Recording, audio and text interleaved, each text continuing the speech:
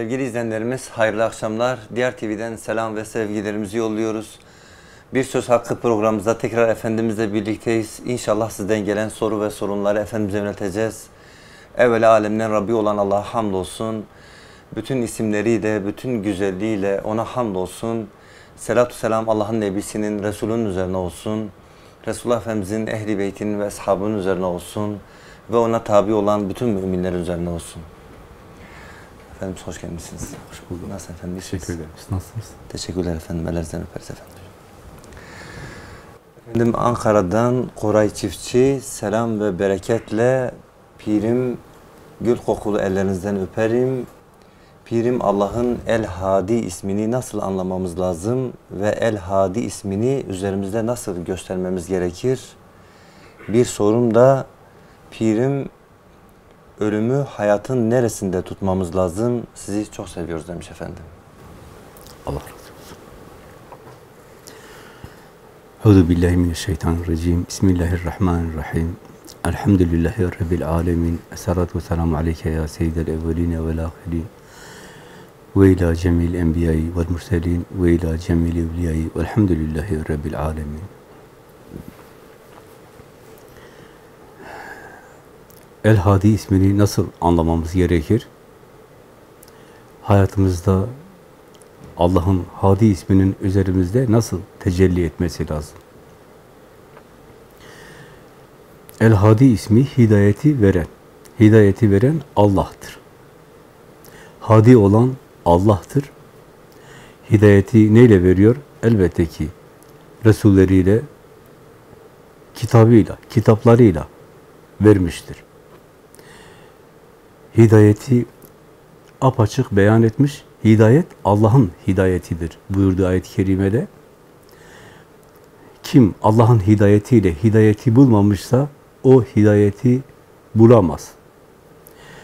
Allah indinde din İslam'dır. Allah hiç kimseden İslam'dan başka din kabul etmez. Eğer biri Allah'ın hidayetiyle hidayet bulmak istiyorsa Evet, hidayeti Kur'an ile bulması gerekir. Allah'ın Resulüne tabi olarak hidayeti bulması gerekir. Yoksa hidayeti bulamaz, kendi kendine bir din üretmiş olur. O Allah'ın dini olmaz. O İslam dini Allah'ın dini olmaz. Allah'ın hidayeti olmaz. Aynı şekilde Allah'ın Hadi ismini üzerinde göstermesi gerekir hidayete vesile olması gerekir. Allah'ın hidayetine. Biri din adına konuşunca, Allah adına konuşunca, imani konuşunca, İslami konuşunca, dünya hayatındaki imtihanı konuşunca, ahiretteki hesabı konuşunca, cenneti, cehennemi konuşunca, insani konuşunca, insani anlatınca, hayattaki her muameleyi anlatırken, kazanmayı, harcamayı, öğrenmeyi, uygulamayı anlatırken, onu Allah'ın kitabından anlatması gerekir, Allah'ın Resulünden anlatması gerekir. Yoksa yoksa kendi kendine bir din üretmiş olur, kendi kendine bir hidayet üretmiş olur. O Allah'ın hidayeti olmaz, Allah'ın dini olmaz. Kendi kendine ürettiği din olur. Dolayısıyla kendini Allah'a şirk koşmuş olur. Ya da herhangi birinden onu naklediyorsa, eğer o da Allah'ın kitabından onu söylememişse, Resulünden onu söylememişse, aynı şekilde onu anlatan da onu ilah edilmiş olur, anlatanı ilah edilmiş olur. O zaman anlatmak herkesin işi değildir. Bilenlerin işidir. Allah'ı bilenlerin işidir. Marifetullah'a sahip olanların işidir. Kim ne kadar biliyorsa Allah'ın kitabından, Allah'ın Resulünden o kadar anlatması gerekir.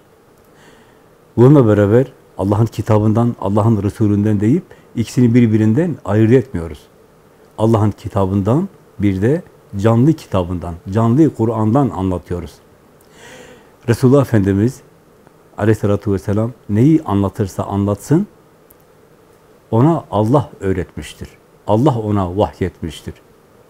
Her neyi yaparsa yapsın, aynı şekilde Allah ona vahyetmiş, o ona öğretmiştir. Onun için tabi oluyoruz.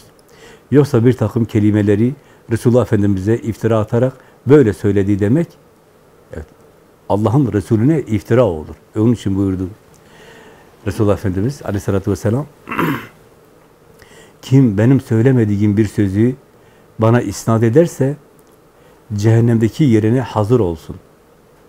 Hiç kimse diyemez ki, işte böyle söylediler, böyle rivayet edildi. Eğer bilmiyorsan söyleme, biliyorsan Kur'an'ın ölçüsüne vur. Tutuyorsa o ona aittir. Tutmuyorsa ona ait olmaz. Çünkü Resulullah Efendimiz'in Kur'an'dan başka bilgisi yoktur. Kur'an'dan başka dini yoktur. Kur'an'dan başka onun sünneti yoktur. Adeti yoktur. Evet, hidayet Hadi ismi üzerinde nasıl tecelli eder? Önce hayatıyla bunu anlatır. Hidayettedir. Hayatı hidayeti gösterir. Hidayetteki bir kul, mümin, Müslüman, müttaki, mühsin, güzel yapan, Allah'ın isimleri üzerinde tecelli etmiş Hazreti insan. Böyle olunca haliyle hidayete davet etmiş olur. Aynı şekilde söylediği her ne olursa olsun mutlaka Allah'ın kitabından dolayısıyla Resulullah Efendimizin Kur'an olan hayatından olmalıdır. Yoksa bence ya da bana göre ya da falancaya filancaya göre olmaz. Diğer soru neydi? Efendim diğeri ölümü hayatın neresinde tutmamız lazım? Evet. Ölümü hayatımızın neresinde tutmamız lazım? Yani ölümü ne kadar tefekkür etmemiz lazım? Ölüme nasıl hazırlanmamız lazım? Ölüm ne zaman gelir? Ölümü nasıl karşılamamız lazım?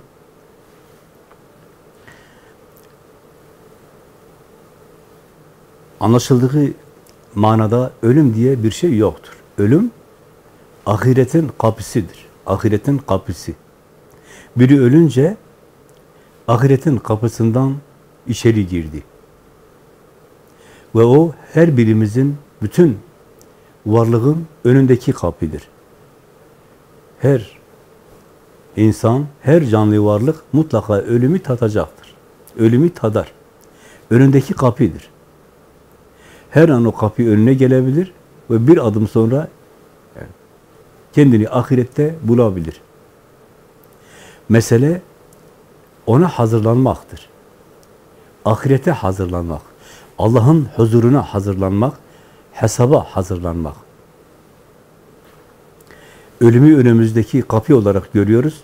Allah'ın huzuruna çıkacak olan kapımız. İmanla geçmemiz gereken kapımız. Kazanmış olarak, ebediyen kazanmış olarak geçmemiz gereken kapımız olarak görüyoruz ve önümüzdedir. Buna beraber ona hazırlanıyoruz. Kapımızı seviyoruz. Rabbimize gitmeyi seviyoruz. Rabbimizin huzuruna çıkmayı seviyoruz. O bir felaket değildir. O bir yok oluş değildir. Mesela biri öldüğünde onun için hemen söylerler. İşte erken gitti, daha gençti ya da işte yazık oldu. Neden yazık olmuş olsun? Allah onu huzura davet etti.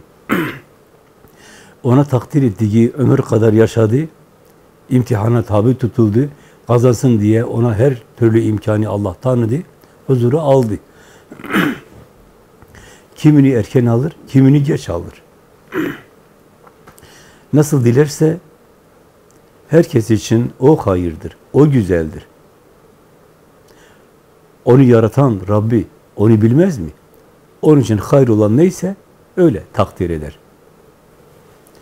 Evet, ölümümüzü, ölümü bir nefes ötede görmemiz gerekir. Nefesi alırız, veremeyiz, veririz, alamayız. Bize o kadar yakın. Her an önümüze gelebilir. O ahiretin kapısı, ölüm. Biz de bedeni bırakırız. Nereye bırakırız bedeni? Geldiği yere, toprağa. Bedenden ayrılır, beden elbisesini soyar, Allah'tan olan, Allah'ın nefettiği ruh, kazandığını, maneviyatını ya da köfrünü, şirkini elbise gibi giymiştir o Allah'ın nefettiği ruh. Ona biz giydirmişiz onu. Onunla Allah'ın huzuruna çıkıyoruz. Buradaki imtihan bitmiş olur. Dertler, kederler, elemler, sorunlar, sıkıntılar, hastalıklar bitmiş olur. Endişeler bitmiş olur. Huzura çıkıyoruz. Mesele Allah'ın huzuruna çıkarken kazanmış olarak çıkmaktır. Rabbimizin rızasını kazanmış olarak, ebedi hayatımızı kazanmış olarak, Allah'ın güzelliğini kazanmış olarak çıkmaktır. Onun için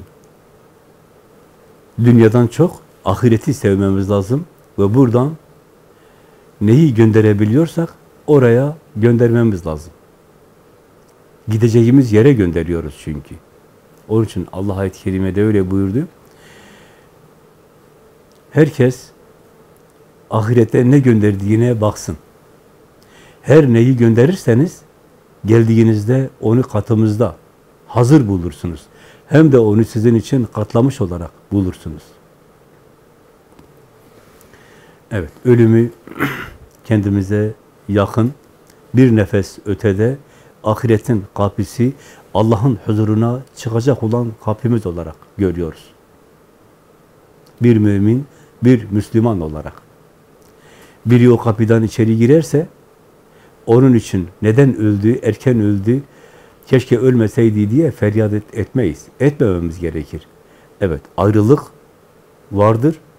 Ayrılık zor gelebilir, ağır gelebilir ama giden için sevilmek gerekir, Rabbine kavuştu. Biz ondan ayrıldığımız için evet üzüntü duyarız. Ama bununla beraber yarın kıyamet günü Allah hepimizi beraber eder. Ebediyen beraber eder. Evet. Efendim bir izlenimiz. Selamun Aleyküm. Hayırlı akşamlar. Siz ve değerli hocamıza Gaziantep'ten bir sorum olacaktı. Cennet ve cehennem ebedi midir? Kur'an'a ve hadise göre selam ve dua ile demiş efendim.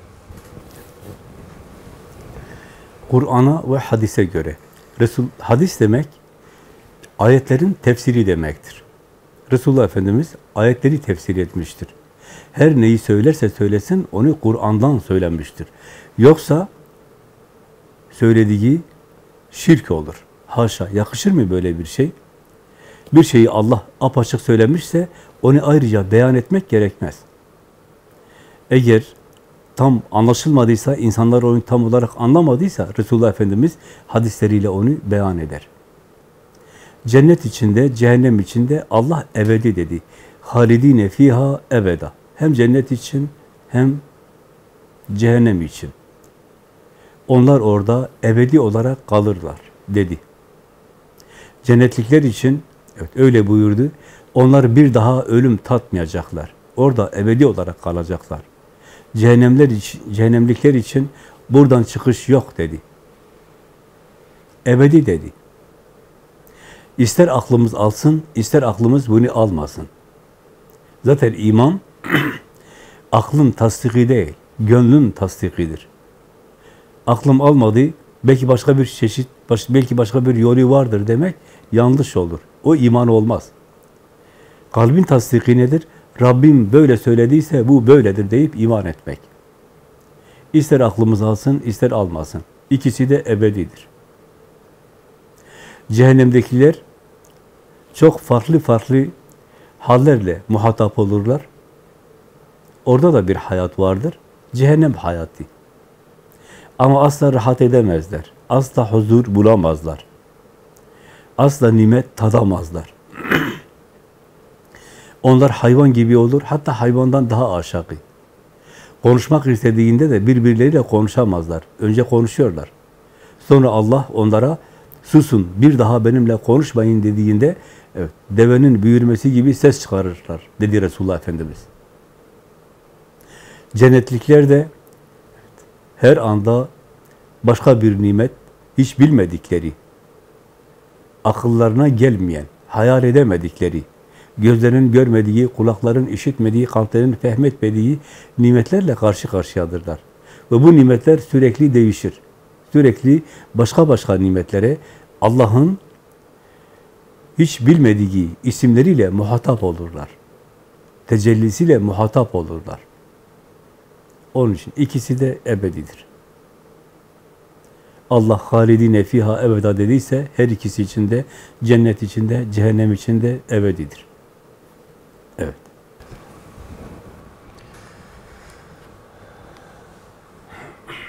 Efendim Sönmez ailesinden Allah'ın selamı, bereketi babamın ve bütün kardeşlerimin üzerine olsun.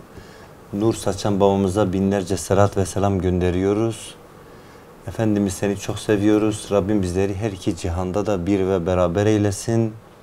Güzeller güzeli Can Efendimiz, babamız selam ve dua ile demiş efendim. Allah razı olsun. Hem kardeşimize hem Sönmez ailesindeki kardeşlerimize selat olsun, selam olsun. Allah'ın rahmeti, bereketi üzerlerine olsun inşallah. Efendim evladın Hatun Diyarbakır'dan selamun aleyküm Efendimiz.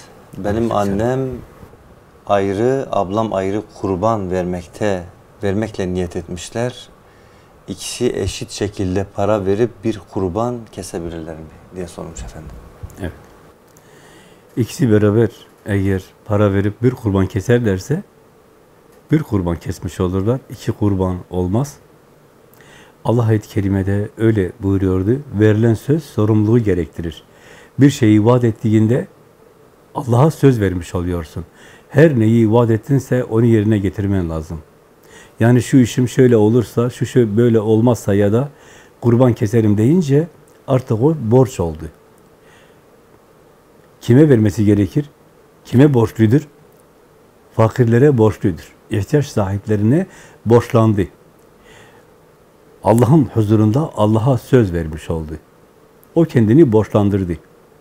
Dolayısıyla bu adak olur. Mutlaka sözünü yerine getirmesi gerekir her birinin. Ne zaman imkanları olursa o zaman elbette ki geciktirmeden. Evet. Efendim devamla bir sorum daha olacak. Siz bizi bırakıp Ankara'ya giderseniz biz sizsiz ne yaparız burada? Sizi çok seviyoruz babacığım. Anam babam size kurban olsun efendim. Size muhtacız bizi bırakmayın. Biz siz olmadan bu diyarda yapamayız. Sizi çok ama çok seviyorum. Rabbim bizi hem dünyada hem ahirette bir ve beraber, beraber eylesin Can Baba. Amin. Allah razı olsun. Asla hiç kimseyi bırakmıyoruz. Nerede olursak olalım, evet, hep beraberiz. Mesele gönüllerin beraber olmasıdır. Nerede işler daha güzel yürüyorsa, nerede daha güzel Allah'a davet edebiliyorsak, daha güzel Allah'ın vahyini, Allah'ın kullarına her eve taşıyabiliyorsak, orada olacağız inşallah. Ne zaman, nasıl dilerse Allah öyle olur. O dilemeden hiçbir şey olmaz. O bir şey dilemişse, güzel olan O'dur, hayır olan O'dur, herkes için. Rahmet olan O'dur, cennet olan O'dur. Ve herkes her anda imtihandadır. Biz de imtihanları kazanmak için elimizden geleni yapacağız hep beraber. Hep beraber kazanacağız inşallah. Efendim Nevşehir'den Zafer Gündoğdu. Selamun Aleyküm. Aleykümselam. Erkeğin kadın üzerindeki, kadının kocası üzerindeki hakları nelerdir? Bu mübarek ellerinden öperim. Hayırlı akşamlar. Allah'a emanet olunuz demiş efendim. Allah razı olsun. Haklar zaten bellidir. Erkeğin vazifesi vardır, kadının vazifesi vardır. Erkeğin vazifesi evine, ailesine, çocuklarına büyüklük yapmaktır, reislik yapmaktır. Onları yakıtı, taşlar ve insanlar olan ateşten korumaktır. Cennete taşımaktır, hidayet olmaktır. Allah'ın vahyini taşımaktır. Evde Allah'ın hükmünün geçmesi için evet, hem öğrenmektir, hem öğretmektir. Buna beraber ailesinin ihtiyacını giderirken bunu aşkla, muhabbetle bir ibadet şuuruyla yapmaktır. Eşinin, ailesinin kendisi için cennet olabileceğini, nimet olabileceğini, Allah'ın sevgisi olabileceğini bilmektir. Ona yaptığı her muamele böyledir. Aynı şey eşi için, kadın için geçerlidir. O da eşine, çocuklarına, evine Allah'ın emrettiği, sevdiği gibi yapmasıdır. Her ikisinin de birbirini kendisiyle bir görmesi gerekir. Bir. Sanki iki arkadaş ya da iki ortak gibi değil. Bir gibi. Yani onun da hakları var, benim de haklarım var. O ayrıdır, ben ayrıyım demek doğru değildir. Böyle olursa o evlilik olmaz. Onlar eş olmuş olmaz, evleri yuva olmuş olmaz. Cennetten bir köşe olmuş olmaz. Eşler birbiri için hem eştir, hem birbirini seven iki sevgili, hem iki arkadaş. En yakın, en samimi arkadaş. En samimi, en yakın dost. Sırdaş. Hiç kimseye söyleyemeyeceğini, anlatamayacağını, anlatabildiği, dertleşebildiği sırdaş. Sırrını söyleyebileceği sırdaş. Bununla beraber Allah'a giden, cennete giden evet, yoldaş, yol arkadaşı.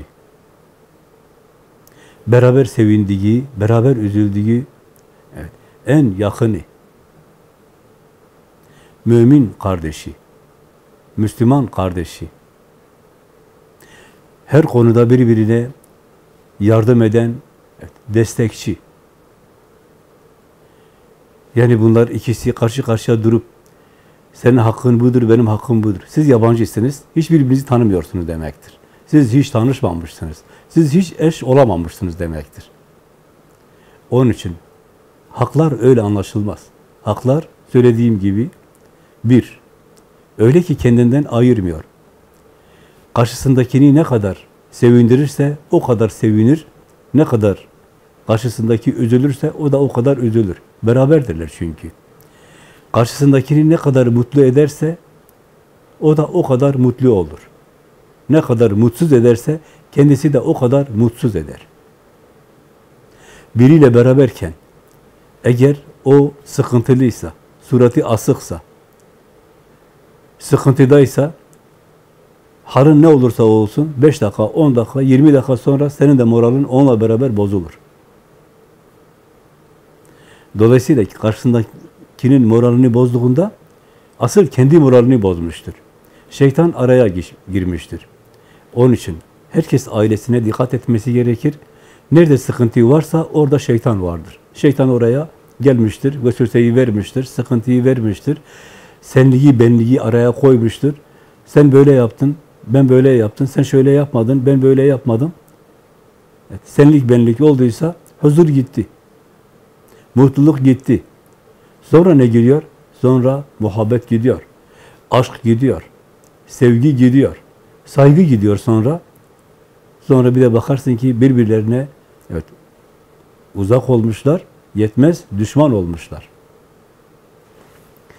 Onun için eğer mutlu olmak istiyorsa bir ailedekiler karşısındakini mutlu etmelidir. Onu kendinden ayrı görmemelidir. Sen, ben dememelidir, biz demelidir. Eşi neye seviniyorsa O da onunla sevinmelidir. Onu sevindirince sevinmelidir. Yoksa yoksa hayat cehenneme döner, yetmez. Evliliği insan için takdir eden Allah'tır. Eşi eşinin gönlü yanında sükun bulsun diye, huzur bulsun diye Allah araya evet, muhabbeti koymuştur, meveddeti koymuştur. Eğer biri bu muhabbeti, bu mevedeti yok sayarsa Allah'ın ikramına karşılık nankörlük yapmıştır. Kim nankörlük yaparsa nimete azabım çok şiddetlidir dedi. Çok şiddetli şekilde azap görür. Allah işte o muhabbeti aldığında, mevedeti aldığında, o huzuru, sekineti aldığında ne olur? Cehennem olur. Huzursuzluk olur. Sadece sıkıntı olur, sorun olur. Kim yaptı? Yapan şeytana uydu. Kendini de huzursuz etti, eşini de huzursuz etti. Hangisi yaparsa yapsın bu böyledir. Yapan bunu kaybeder. Sevgiyi kaybedince neyi kaybediyor? Onu kaybetmiştir. Eşini kaybetmiştir. Yetmez. Allah'ın nimet olarak kendisine verdiğine karşılık nankörlük yapıp Rabbinin sevgisini kaybetmiştir. Bundan daha büyük kaybediş var mıdır? Beraber Rabbine yürümeleri gerekirken şeytani davet edip şeytanla beraber olmuştur. Beraber olmuşlardır bu durumda. Rablerini kaybediyor. Evet, bunu böyle anlamak gerekir inşallah. Efendim Adana'dan Variyet Yeşil. Selamun Aleyküm Pirim. Öncelikle ellerinden öpüyorum ve sizi çok seviyorum. Allah sizi başımızdan eksik etmesin inşallah.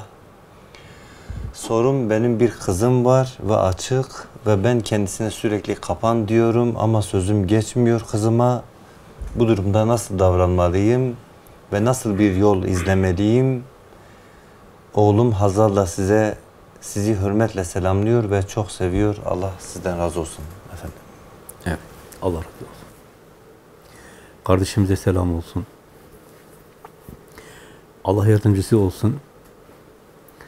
Kızımıza kapan diyoruz ama bizi dinlemiyor diyor kardeşimiz. Ne yapmak lazım? Kızımızı suçlarsak bu doğru olur mu? Hayır, doğru olmaz.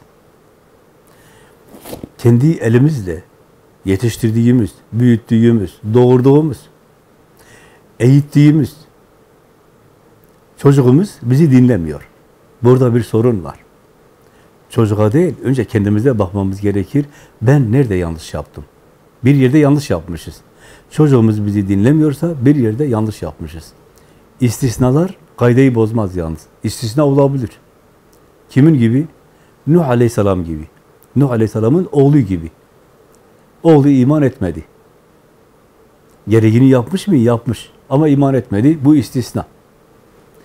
Geriye 50 tane oğlu varsa, 100 tane oğlu varsa gerisi iman etmiş yalnız. Ama bir tanesi içinden öyle çıktı. Bu istisna. Bin sene yaşamış birinin herhalde 300-500 tane çocuğu vardır. Kendimize bakmamız gerekir. Onu acaba Allah'ın emrettiği gibi, sevdiği gibi yetiştirebildin mi? Ona Rabbini tanıtabildin mi? Ona kul olduğunu öğretebildin mi? Bir kul olarak yetiştirebildin mi? Eğer bir kul Rabbine iman ederse, Rabbinin hakkını teslim ederse, kul olduğunu kabul edip, Rabbinin ilahlığını kabul ederse, bu durumda anaya babaya öf diyemez, demez. Hele bir de anne baba Allah'ın emrine davet ediyorsa hiç yok diyebilir mi? Sorun nerede? Sorun bizde. Biz ona Rabbinin emrettiğini tercih et diyememişiz. Dedirtmemişiz ona. Ona yaptıramamışız. Ona Rabbini tanıtamamışız. Rabbini bilmiyor. Rabbini bilmeyince elbette ki anasını babasını da bilmez. Allah'a itaat etmeyince anasına babasına da itaat etmez, onları dinlemez. Ananın, babanın evladını yetiştirirken önce o Allah'ın kuludur diye, Allah'tan bir emanettir diye kul olarak yetiştirmesi gerekir. Rabbini tanıtması gerekir, iman ettirmesi gerekir. Ona la ilahe illallah dedirtmesi gerekir. Eğer la ilahe illallah derse anasına, babasına karşı evet saygılı, edepli, öf demeyen biri olur. Anaya, babaya, diğer insanlara muamele ederken Allah'ın hesabını yapar. Dolayısıyla eğer bu hata bizdeyse, biz bunu yaptıramamışsak o da dinini, imani, insanı, kendini, hayatı başkalarından öğrenmişse, başkalarına bakıp başkalarını örnek almışsa bizi dinlemez. Yapmamız gereken şey nedir? Var mıdır yapmamız gereken bir şey? Bu aşamadan sonra evet vardır. Nedir o? Tevbe etmek. Bütün gönlümüzle Rabbimize dönüyoruz. Yanlış yaptım ya Rabbi. Kulünü bana teslim ettiğin emanetine gerektiği gibi muamelede bulunamadım. Koruyamadım onu. Kul olarak yetiştiremedim. Yanlış yaptım. Dünyanın hesabını yaptım. Başkalarının hesabını yaptım. Yanlış yaptım. Dolayısıyla şimdi seni dinlemediği gibi beni de dinlemiyor. Dinlemez. Bunun için yanlışımdan dolayı, günahımdan dolayı tövbe ediyorum. Tövbe ediyorum, istiğfar ediyorum, evladıma dua ediyorum. Onun gönlünü kendine dönder. Allah kendine döndürür inşallah. Döndürür.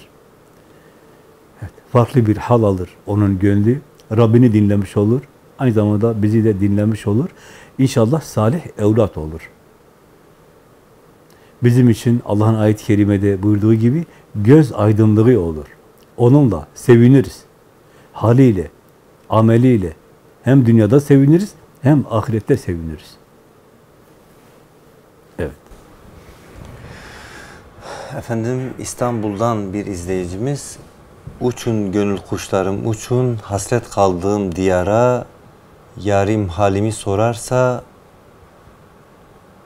derviş yarim halimi sorarsa derviş gelme derviş gelmeyen yarine değil derviş gelmeyen yarine değil hasretlen çatlanmayan sinesine kırgındı dersiniz. Selamun Aleyküm canım babam. Bir girdabın içindeyim bu aralar. Sana ihtiyacım var. O rahmet, şefkat dolu sözlerine, dualarına ihtiyacım var. Eşim çok kalbimi kırıyor. Artık öyle bir hal aldı ki alışkanlık haline getirdi. Çok zulmediyor bana. Her defasında affediyorum. Her defasında affediyorum. Yine aynı şeyleri yapıyor ve ben yine Rahman'a sığınarak affediyorum. Bir kadının kaldıramayacağı şeyler haksız yere Rabbim sabredenlerle beraberdir diyorum. Rabbim sen bana küsme, kızma, darılma yeter ki ben senin için sabrederim. Bu benim imtihanım diyorum. Rabbime teslim oldum. Senden ve Rabbimden başka kimsem yok. Ama bazen o kadar bunalıyorum ki kalbim çatlayacak gibi oluyorum. Rabbime karşı gelmekten korkuyorum. Her defasında Rabbim için sabrediyorum babam. Rabbim sabredenlerle beraberdir biliyorum. Seni çok seviyorum babam. Senin cemalin gözümün önünden hiç gitmiyor. Hep benimlesin.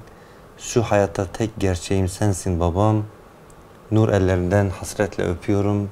Rabbim seni başımızdan eksik etmesin inşallah. Biraz uzun oldu kusura bakmayın. Geceniz hayır olsun. Rabbim selamı babamın ve sizin üzerinize olsun. Selametle demiş efendim. Allah razı olsun. Kardeşimize selam olsun. Allah yardımcısı olsun. Kardeşlerimiz soru gönderirken, soruya cevap verirken bir yanlış anlaşılma olmasın. Sadece o soruya cevap vermiyoruz. Genel olarak ne yapılması gerekir? Böyle bir hal ile muhatap olan herkese cevap vermiş oluyoruz. Bazen hiç alakası olmayan şeyleri de anlatıyoruz. Onlar da gerektiği için anlatıyoruz. Sadece soruyu sorana değil, genel olarak öz itibariyle anlaşılması gerekeni anlatmaya çalışıyoruz. Evet, kardeşlerimiz bunu da böyle anlasınlar. Yoksa bu söylenen her ne varsa hepsini bana söyledi demek doğru değildir. Yani genel olarak soruya cevap veriyoruz. Eşimiz bizi kırıyor. Yani insanı eşini kıran eş midir? Böyle eş olur mu? Tabii çevremize bakıyoruz, etrafımızda bakıyoruz. Ya da böyle aileden gelme, adetten gelme bir şeyler vardır. Faranca eşine böyle davranmış, benim babam eşine böyle davranıyordu, dedem böyle davranıyordu, ben de böyle davranıyorum. Allah'ın emri nerede? Allah'ın hükmü nerede? Müslüman, mümin olmak nerede? Ahiretin hesabını yapmak nerede? Kendi hesabını yapmak nerede? Yani huzuru bozabiliyorsun, laf söyleyebiliyorsun, kırabiliyorsun. Benim söyleyeceğim söz, yani onun insanlığı nerede? Nerede insanlık? İnsanın önce insan olması gerekir. İnsan. Ama kul Allah'ın hesabını yapmayınca, Allah'ın dininde olmayınca adetleri onun dini olur. Nefsinin söylediği onun dini olur. Şeytanın verdiği vesvese onun dini olur. Onun imani olur. Onun hayatı olur. Görüyoruz. Mümindir, Müslümandır. Ama öyle bir şeytana uyuyor, öyle bir şeytana tabi oluyor ki dinden, imandan, İslam'dan üzerinde eser görünmüyor. O kadar pervasızca konuşuyor, o kadar gönül kırabiliyor, yıkabiliyor ki yani şeytan bile ondan Allah'a sığınır. Ben bunu yapamam der. Zaten Bedir Savaşı'nda öyleydi. Şeytan, iblis, müşrikleri savaşa teşvik ediyordu. Bugün sizi yenecek hiç kimse yoktur. Hadi yürüyün ben de sizinle beraberim dedi. Bedir'e geldiklerinde tabi orduyu gördü. Bir de karşıdan melekleri gördü. Cebrail aleyhisselamı gördü. Ne dedi? Ben alemlerin Rabbi olan Allah'tan korkarım. Ben sizin görmediğinizi görüyorum, ben kaçıyorum. Allah ayet-i kerimede öyle buyurdu. Şeytan insanı küfre davet eder, şirke davet eder, inkara, nankörlüğe davet eder. Nankörlüğe. Kul öyle bir hale gelir ki tam bir nankör olur. Nimeti göremez olur. Küfür, nankörlük.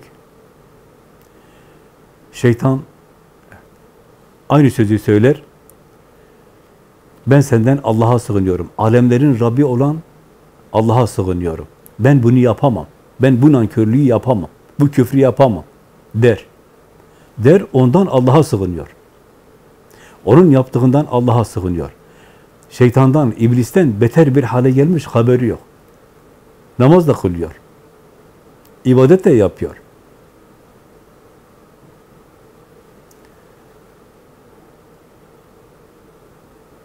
Kimden? Allah'a sığınıyor, nankörlerden. Kafirden, nankörden. Nimeti yok sayandan. Allah nankörleri sevmez buyurdu. Rabbini kaybetmiş, haberi yok.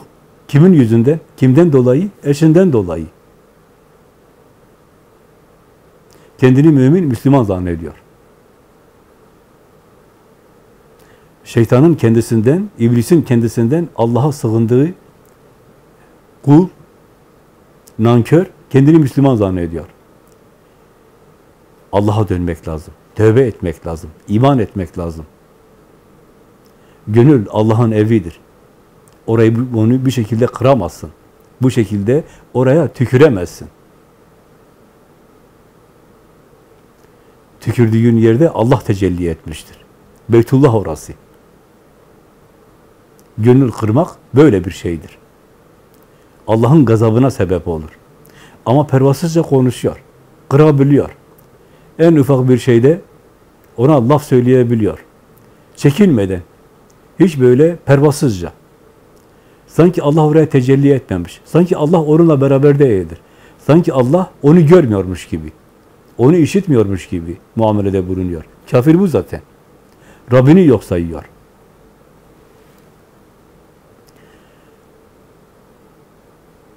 Allah gerekeni yapar. Öyle bir gerekeni yapar ki kişi keşke hiç olmasaydım der. Kime muamele edersek edelim Allah'ın huzurundayız. Allah'ın yarattığı bir kulla muhatabız. Ve Allah'ın bizim üzerimizde bir muradi vardır. O anda bize bir emri vardır. Allah ile muhatabız. İmtihan bu. İmtihanı anlamak budur zaten. O eşimiz de olabilir, çocuğumuz da olabilir, anamız, babamız da olabilir. O fark etmiyor. Sen ondan önce onun sahibiyle muhatapsın. Kendine dikkat etmen gerekir. Gönlüne dikkat etmen gerekir. Rabbine dikkat etmen gerekir. Sen ya kazanıyor ya kaybediyorsun. Neye göre? Yaptığın muameleye göre, konuşmana göre. Gönül yaptınsa, sevindirdinse, kazandın, kırdınsa, üzdünse, kaybettin. Rabbini kaybediyorsun, kendini kaybediyorsun. Ebedi hayatını kaybediyorsun, yetmez dünyanı da kaybediyorsun.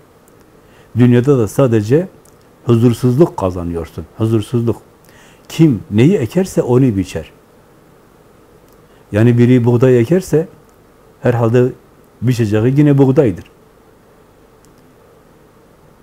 Buğday eken mısır biçmez, pirinç biçmez. Nereye ekiyorsun? Gönüllere ekiyorsun. Gönülle, gönüllere ekmen gereken şey nedir? Hayırdır, rahmettir, aşktır, muhabbettir, güzelliktir. Bunu ekersen Allah'tan bunu görürsün karşılık olarak.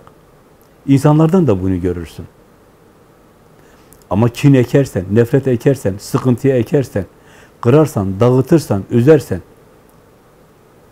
karşılığında rahmet alabilir misin? Aşk, muhabbet alabilir misin? Neyi ekmişsen onu bulacaksın. Onun için sevindirdiğin kadar sevinirsin. Allah seni sevindirir. Üzdüğün kadar da üzüleceksin. Sen ekiyorsun onu. Onun için herkese kendi elleriyle yaptığının karşılığı vardır. vardır. Diliyle yaptığının karşılığı vardır. Peşinden koştuğu her neyse o vardır.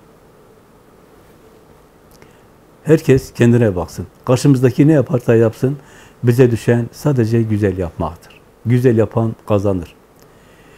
Yanlış yapanın karşılığına biz de yanlış yapmıyoruz. Yanlış yaparsak ondan farkımız kalmaz.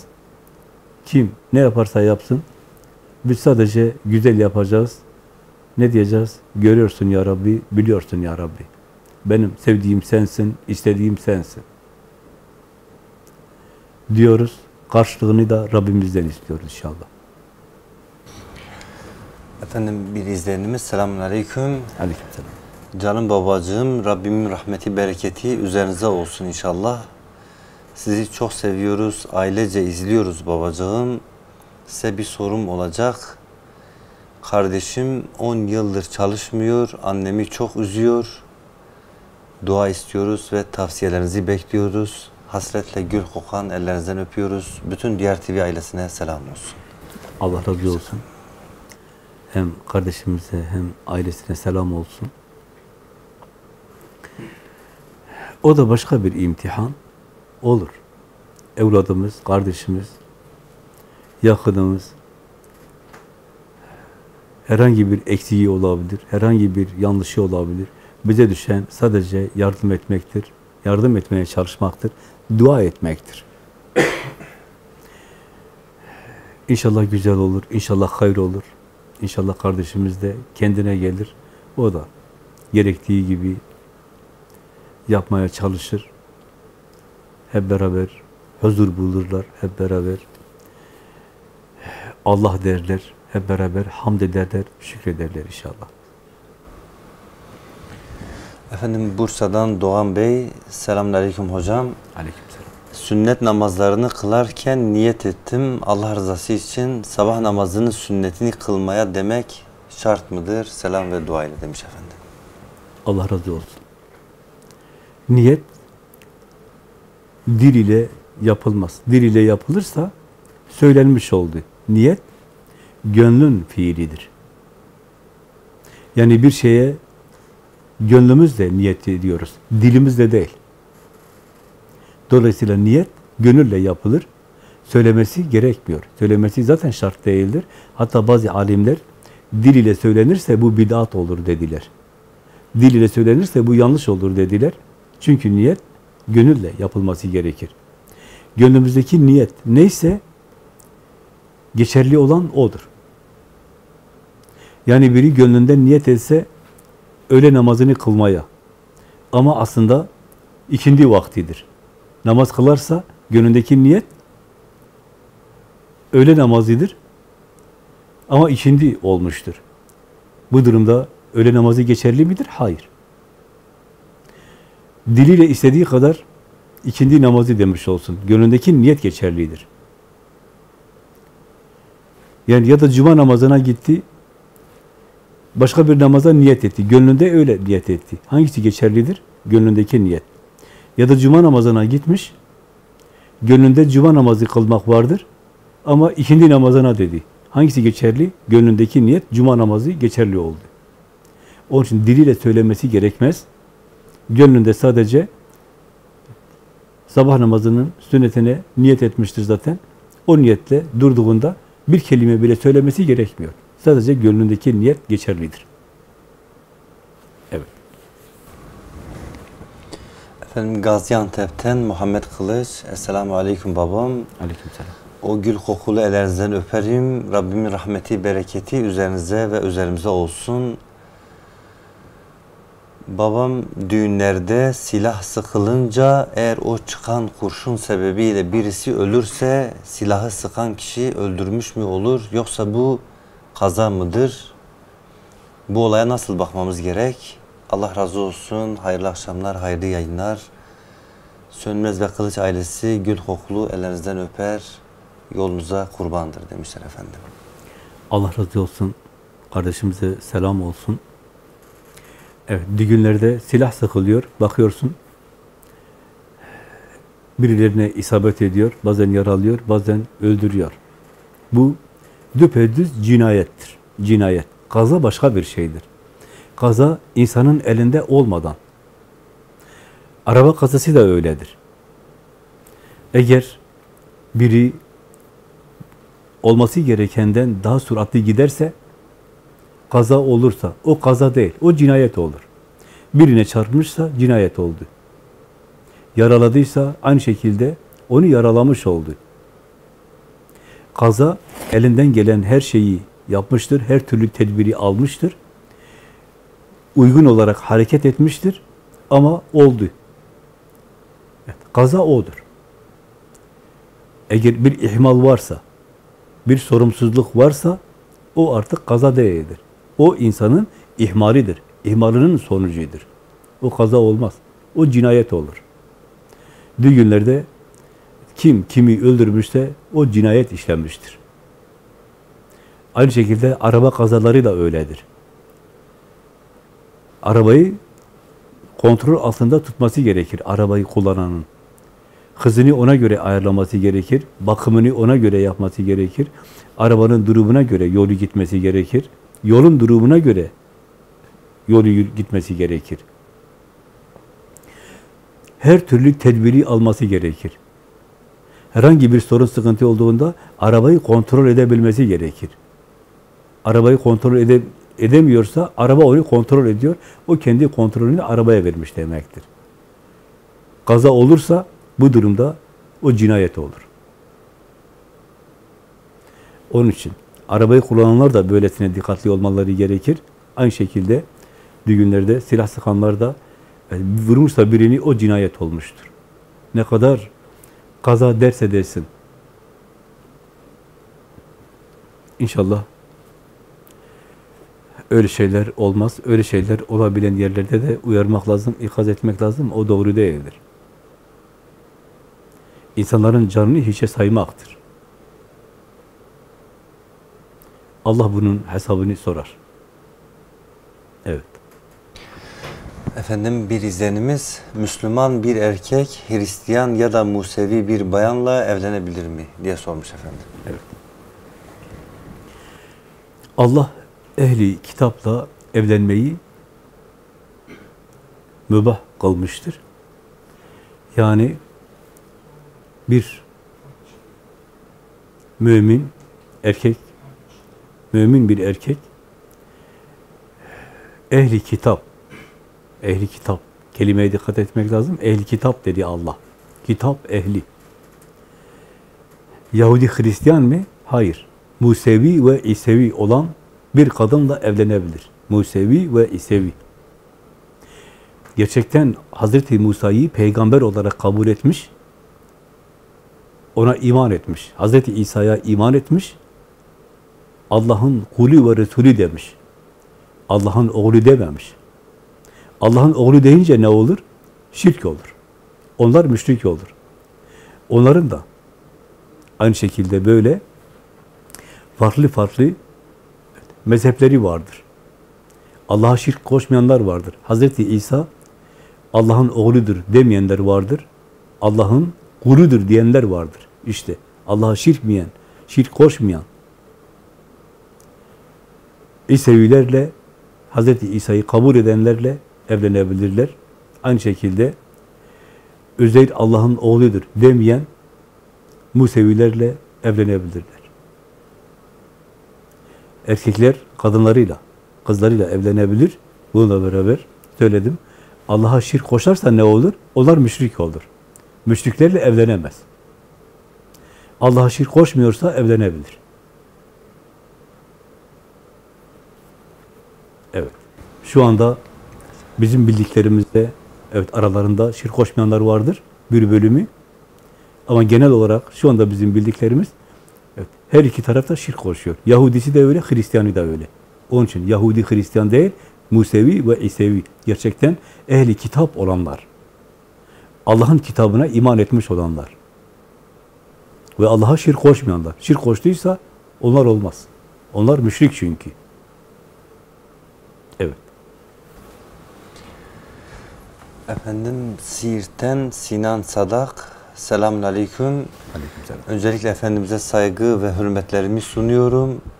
Sorum, gönlüm hep sıkıntılarla boğuşuk olması, işlerimin rast gitmemesini hep insanlara dayandırıyorum ve bu sebeple insanlardan nefret ediyorum. Bu halimden kurtulmak için ne yapmam gerekiyor? Evet. İlk yapmamız gereken şey Auzu besmele çekmektir. Auzu billahi mineşşeytanirracim. Bismillahirrahmanirrahim dememiz gerekir. Çünkü bunu ona yaptıran, bu vesveseyi ona veren evet, şeytandır. Şeytan onu Rabbinden ayırıp kendine çekiyor. Bizim Allah'a iman etmemiz lazım. Allah'a teslim olmamız lazım. Hangi imtihan gelirse gelsin, o Allah'tan geliyor. Allah bizi imtihana tabi tutmuş. Allah dilemese ağaçtaki yaprak düşmez buyurdu. Allah neyi takdir etmişse o sana mutlaka gelir. Allah senin için bir hayır dilediğinde bütün insanlar bir araya gelse ona mani olamaz. Bir şer dilediğinde, bir imtihan dilediğinde yani senin şer olarak gördüğün bir şeyi dilediğinde de bütün insanlar bir araya gelse ona mani olamaz. Hiç kimseyi suçlamıyoruz. Önce sebebin sahibine bakıyoruz. Rabbim beni böyle imtihana tabi tutuyor. Benim için gerekli olan budur. İşler ters mi gidiyor? Rızkı daraltmış. Bunu böyle anlayalım. Allah dilediği kimse için rızkı genişletir. Dilediği kimse için rızkı takdir eder. Bir miktara bağlar, kısar yani. Dilediği kimse için hesapsız verir. Takdir ediyor. Takdir O'nundur. O sebepler ondan dolayı böyle meydana geliyor. O öyle takdir etmiş ondan. Birileri bir şeylere sebep oluyor. Perde oluyor. Mani oluyor. Sebebi görmemek, sebep olanları görmemek lazım. Önce sebeplerin sahibini görüyoruz. Kim sebep olmuşsa o da. Ya kazanmış ya kaybetmiş. O da bizim gibi imtihandadır. Onun için hiçbir muameleyi, Allah'ın bize yaptığı hiçbir muameleyi insanlara bağlamıyoruz. Önce Rabbimizden biliyoruz.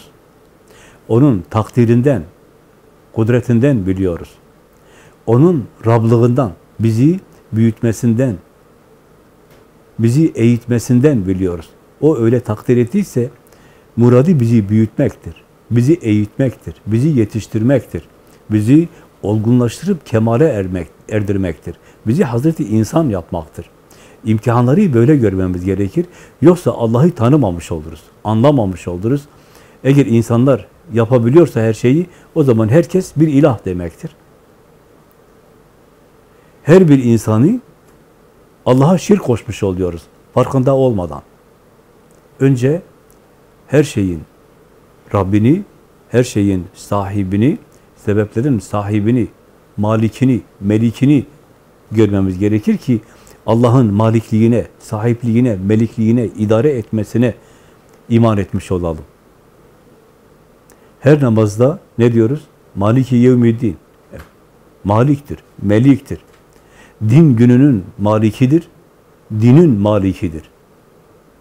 Burada yaşadığın hayatın kıyamet gününde o seni hesaba çekerken onun maliki olduğu gibi buradakinin de malikidir. Burada sana muamele etmiş, orada seni hesaba çeker. Kula düşen nedir? Bir mümin olarak, bir Müslüman olarak evet, Rabbine iman etmektir. Gözünü, gönlünü Rabbinden ayırmamaktır. Hangi muameleyi kimden, nereden görürse görsün, onun sahibini görmektir. İnsanları suçlamamaktır. İblis hile yapıyor. Şeytan hile yapıyor. İnsanları gösteriyor, bu yaptı diyor. Hayır, o yapmamış. Allah dilemeseydi o yapamazdı. Allah müsaade etti, imtihana seni tabi tuttu. O doğru yapmışsa kazanmış, yanlış yapmışsa o kaybetmiş. Onun hesabı Allah'a aittir. Bizim hesabımız da bize aittir. Biz önce hesabımızı Rabbimize vereceğiz. Her konuda önce onu göreceğiz. O bize nasıl bir muamelede bulunursa bulunsun, ne diyoruz? Sen güzel yaptın ya Rabbi. Sen güzel yapansın. Güzel yapansın, güzel yapanları seversin. Bana güzel yap demişsin. Ben de senin emrettiğin, sevdiğin gibi yapacağım. Deyip biz sadece güzel yapmaya çalışıyor. Allah'ın güzelliğiyle güzel oluyoruz, kazanıyoruz. İnşallah öyle yapacağız. O sıkıntıyı da üzerimizden atacağız. Gönlümüzdeki insanlara karşı olan kini, nefreti temizleyeceğiz. Yerine Allah'ın sevgisini, aşkını, muhabbetini, imani dolduracağız. Evet. Efendim müsaadeniz olursa bir mesajla efendim. Buyur. Efendim İstanbul'dan Zeynep Hanım selamun aleyküm. Aleykümselam. Allah'ın dostu sultanımın duasına mazhar olmak dünya ve ahiret saadetidir. O dostun gönlüne misafir olmak cennete girmektir. O dostun tebessümüne ve iltifatına kavuşmak, şahit olmak ve tatmak yeniden doğmaktır. O dostun her bakışı nakış nakış iman yazar gönüllere, onun her sözü duadır. Rabbine niyazla geçer o mübarek ömrü. Allah dostu mürşidim hasta nefsimizi temizlemek, tedavi etmek ve huzura hazırlamak için ömrünü ve gönlünü ortaya koyar. O ömrün, o gönlün civarında olup onun duasından nasiplenmek, o duanın tabiri caizse kapsama alanına girmek için çaba gayret sarf etmemiz gerekiyor. Sultanımın Sultanımın gözyaşlarıyla imzalayıp Rabbine sunduğu dua, niyaz dilekçesinin bir köşesine ismimizi yazdırmak için gayret etmeliyiz inşallah. Külli iradeye gerçek anlamda teslim olmuş Rabbimin nazargahı, kutlu gönlüne kurban olayım. Gönül muhabbet düşkünü arar Rabbinin aşkını, bir sultanım bu şaşkını yüreğinde mihman eder.'' Rabbim verdi bu nimeti, aşkla uslat seyahati, sultanımın muhabbeti gözyaşını giryan eder. Yedullahi fevke eydihim, can sultanım ellerinizden hasretle, hürmetle, muhabbetle öpüyorum. Ve kardeşlerimize selam söylemiş efendim. Allah razı olsun. Zeynep kardeşimize hem İstanbul'daki kardeşlerimize selam olsun. Allah'ın selamı, rahmeti üzerlerine olsun inşallah. Allah bizi bir ve beraber eylesin. Efendim Cengiz Çimen Diyarbakır'dan selamun aleyküm hocam. Aleykümselam. Mümin bir insanın ölüm anı nasıl olur? Teşekkürler demiş efendim. Allah razı olsun. Allah onu haber veriyor. Mümin bir insanın ölüm anı nasıl olur? Öyle buyurmuştu ayet-i kerimede.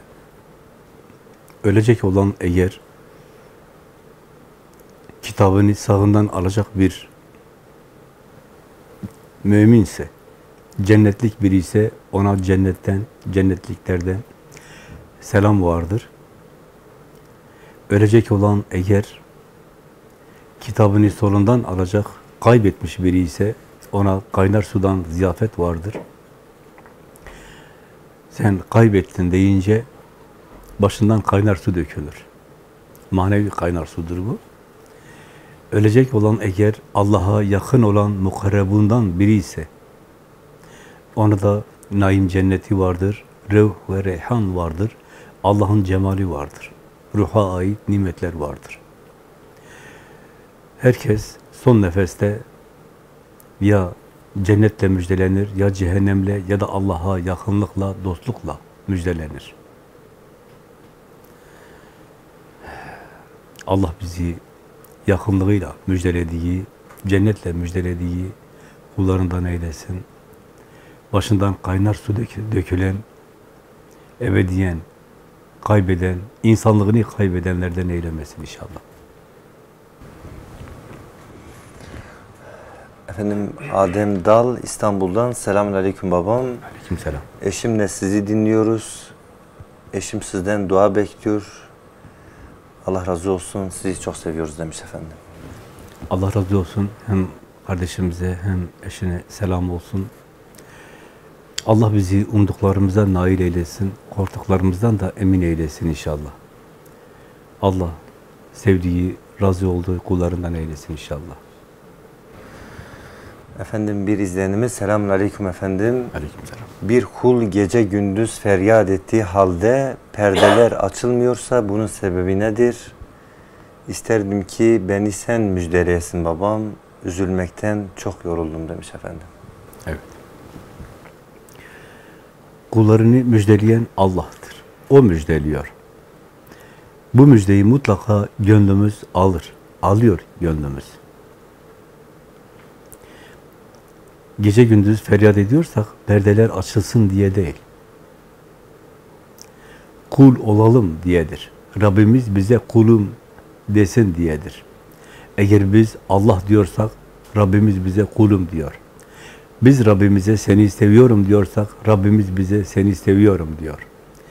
Biz Rabbimize beni affet, mağfiret et diyorsak Rabbimiz de bize seni affettim, mağfiret ettim diyor. Kul kendi gönlünden bunu böyle anlar, böyle tadar. Tadıyorsa bilsin ki evet, Rabbi ona seni seviyorum diyor, seni mağfiret ediyorum, seni affediyorum. Bununla beraber bunu tadıyorsa yalnız, söylerken içi yanıyorsa, bütün gönlüyle Rabbine dönüp söylüyorsa, müjdeledi, müjdelemiştir. Müjdeyi böyle anlamak gerekir. Yoksa bir perde açılsın diye değil. Kulun gönlünün üzerindeki perde açılsın. Eğer ya Rabbi seni seviyorum diyorsa, bunu tadıyorsa, perde açılmış. Bu perde açılmış demektir. Perdenin açılması budur. Mesele onu tatmasıdır. Kardeşlerimizin bunu böyle anlaması gerekir. Evet. Efendim bir izlenimiz selamun aleyküm hayırlı geceler. Ateist ateistin İslam hukukuna göre yaşamaya hakkı var mıdır? Bir de mürtedin var mıdır? Allah razı olsun demiş efendim. Allah razı olsun. Dinimizi doğru anlamamız gerekir. Allah'a Allah'ın emrettiği gibi, öğrettiği gibi iman etmemiz gerekir. Mürted de, müşrik de, ateist de, kafir de, münafık da Allah'ın kuludur. Ona yaşama hakkını veren Allah'tır, kul değildir. Yoksa ateisttir, müşriktir, kafirdir, Yaşama hakkı yoktur kimse diyemez. Allah bu yaşama hakkını vermiştir. Buna beraber iman etme ya da kafir olma hakkını vermiştir. İman da bellidir, küfür de bellidir. Dileyen iman etsin, dileyen kafir olsun, müşrik olsun, ateist olsun, münafık olsun. Tercih onundur dedi. Ne zamana kadar? Son nefesine kadar. Yaşama hakkı var mıdır? Vardır. O bizim kulumuz değil. Onu biz yaratmamışız ki onun hakkında hüküm verelim. Yaşama hakkı yoktur diyelim. Hiç kimsenin böyle bir hakkı olmaz. Söylerse biri ne olur? İlahlık iddia etmiş olur. Ben böyle istiyorum demiş olur. Bu hakkı Allah vermiş. Dileyen iman etsin, dileyen kafir olsun. Dileyen Rabbine varan yolu tutsun, dileyen cehenneme giden yolu tutsun. Bizim işimiz nedir? Allah Resulullah Efendimiz'e ne buyurdu? Senin vazifen tebliğ etmektir. Sen sevdiklerine iman ettiremezsin. Senin vazifen tebliğ etmektir. Allah dileseydi bütün insanlar iman ederdir dedi. iman ederdi buyurdu. Hal böyleyken sen onları zorlayacak mısın? Zorlayamazsın. Peygamber de zorlayamaz. Sadece davet eder. Dileyen davete icabet eder, dileyen davete icabet etmez. Onun rızkını veren Allah'tır. Varlıkta tutan Allah'tır. Kendisine davet eden Allah'tır. Kim bilir? Bugün iman etmemiş, bugün ateisttir, yarın mümin olur. Onu öldürsen adamı cehenneme göndermiş olursun. Allah peygamberleri göndermiş, kitap göndermiş de cennete davet ediyor. Bize de düşen cennete davet etmektir. Cehenneme göndermek değildir. Hadi yaşamaya hakkı yoktur, öldürün cehenneme gönderin. Öyle mi diyeceğiz? Onları biz mi yarattık? Yaratan, yarattığını bilmez mi? Onun için böyle bir düşünce, böyle bir fikir insanı küfre sürükler, şirke sürükler, insanı müşrik yapar. Çünkü kendi nefsini, kendi bilgisini, kendi aklını Allah'a şirk koşmuş olur. Bunların yaşamaya hakkı yoktur dediyse. Onun için dikkat ediyoruz, dikkatli oluyoruz. Yaşama hakkını veren Allah'tır. Onu yaşatan, varlıkta tutan Allah'tır. Buna beraber kendine davet eden Allah'tır. Firavun ilahlık iddia ediyordu. Allah Hazreti Musa'yı gönderip git onu davet et dedi. Rabbine davet et dedi. İslam'a davet et dedi. Bize de düşen sadece davet etmektir. Evet, anlatmaktır. Kabul eder veya etmez, o onun bileceği şeydir. Müminin işi kendisiyledir, kulluğuyladır, Rabbiyledir. Güzel yapmakladır, insanlara rahmet olmakladır, dua etmekledir. Alemlere rahmet olana iman etmişiz. Onun için bize düşen cennete davet etmektir. Cennete taşımak için çaba gayret sarf etmektir. Cehenneme göndermek değil. O şeytanın işi. O iblisin işi. Evet. Peygamberi bir bakışla bakıp peygamberi bir hal ile bakmamız gerekir. Rahmetle bakmamız gerekir. İnşallah öyle yapacağız. Böyle fikirlerden, böyle düşüncelerden de kurtulacağız inşallah. İşimiz başkalarının hesabını görmek değil, kendi hesabımızı görmektir. Evet, bize düşen sadece davettir. Hiç kimsenin bundan fazla, bundan başka bir vazifesi olmaz. Hiçbir müminin. Evet. Efendim bir izleyenimiz selamun aleyküm babam. Hani derler ya aklın almadığı yerlere geldim, öyle haller yaşıyoruz. Hamdolsun nedir ne oluyor anlamıyor, neden diye sormuyoruz. Diyoruz sen ne yapıyorsan o güzel olandır. Babam hiçbir söz bulamıyorum artık sözlerin sahibine, gönüldekilerin şahidine diyecek bilirim. Beni benden iyi biliyor. Seni çok seviyorum babam. Her hatama rağmen bana her zaman kucak açan babam. Asla hakkını ödeyemem. Allah bizleri senden bir an ayırmasın inşallah. Allah razı olsun. Anlamayabiliriz. Anlamamız gereken tek bir şey vardır. Bir, Rabbimizi biliriz. Bir, kendi kulluğumuzu biliriz. Bütün çabamızla, gayretimizle Rabbimize kul olmaya çalışıyoruz. İmanımızı kemale erdirmeye çalışıyoruz. Biz Rabbimizi biliyoruz, Rabbimiz bizi biliyor. Başka kimsenin bizi bilmesine gerek yok. Bizim de başka bir şeyi bilmemize gerek yok. Rabbimizi biliyoruz ya, her şeyi biliyoruz demektir. Hamdolsun.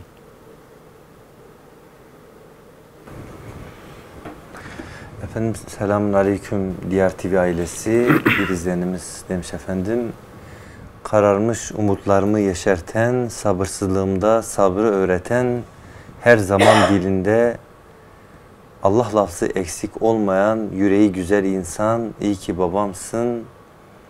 Bir bilseler sana olan hayranlığımı, dil hareketsiz, dudak kilitli kalır. Bir bilseler sana olan bakışlarımı, dil susar, gözler konuşmakla meşgul kalır. Bir bilseler feryadımı, bir öğrenseler haykırışlarımı, her zerrem seni sevmekle çabalamakta. Aşk seninle güzeldir efendim. Aşk haykırabilmektir, direnmektir. Umut içinde karanlıkta, karanlıkta olsa ışığı sabırla beklemektir. Babam şu an ağlayarak yazıyorum sana olan bu mısraları. Öyle içten ve bir o kadar da samimi duygular içerisinde dediğini yapıyorum babam. Şu an karanlık bir hayatta Rabbimin gönlümü açmasını beklemekteyim. Sizi çok seviyorum. Sevmek hiç bu kadar güzel olmamıştı gönlümde. Baba müsaadenizle sizlere iki soru sormak istiyorum. Vazgeçtim demek için ne yapmak gerek? Vazgeçtim diyen bir kulun hali nasıldır? Bu soruyu sorma nedenim vazgeçtim diyen insanları gördüğümde şaşırıyorum. Bu konuda bizleri aydınlatmanızı istiyorum. Rabbim sizlerden razı olsun inşallah. Geceniz hayırlı olsun. Sizleri çok seviyoruz demiş efendim. Allah razı olsun.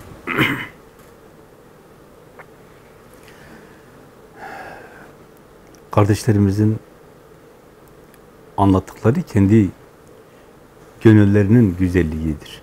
imanlarının güzelliğidir. Vazgeçtim demek,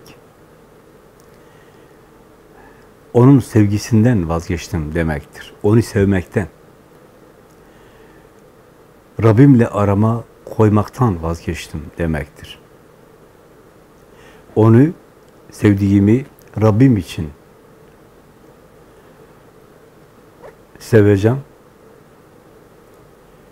Rabbimden bağımsız sevmekten vazgeçtim demektir.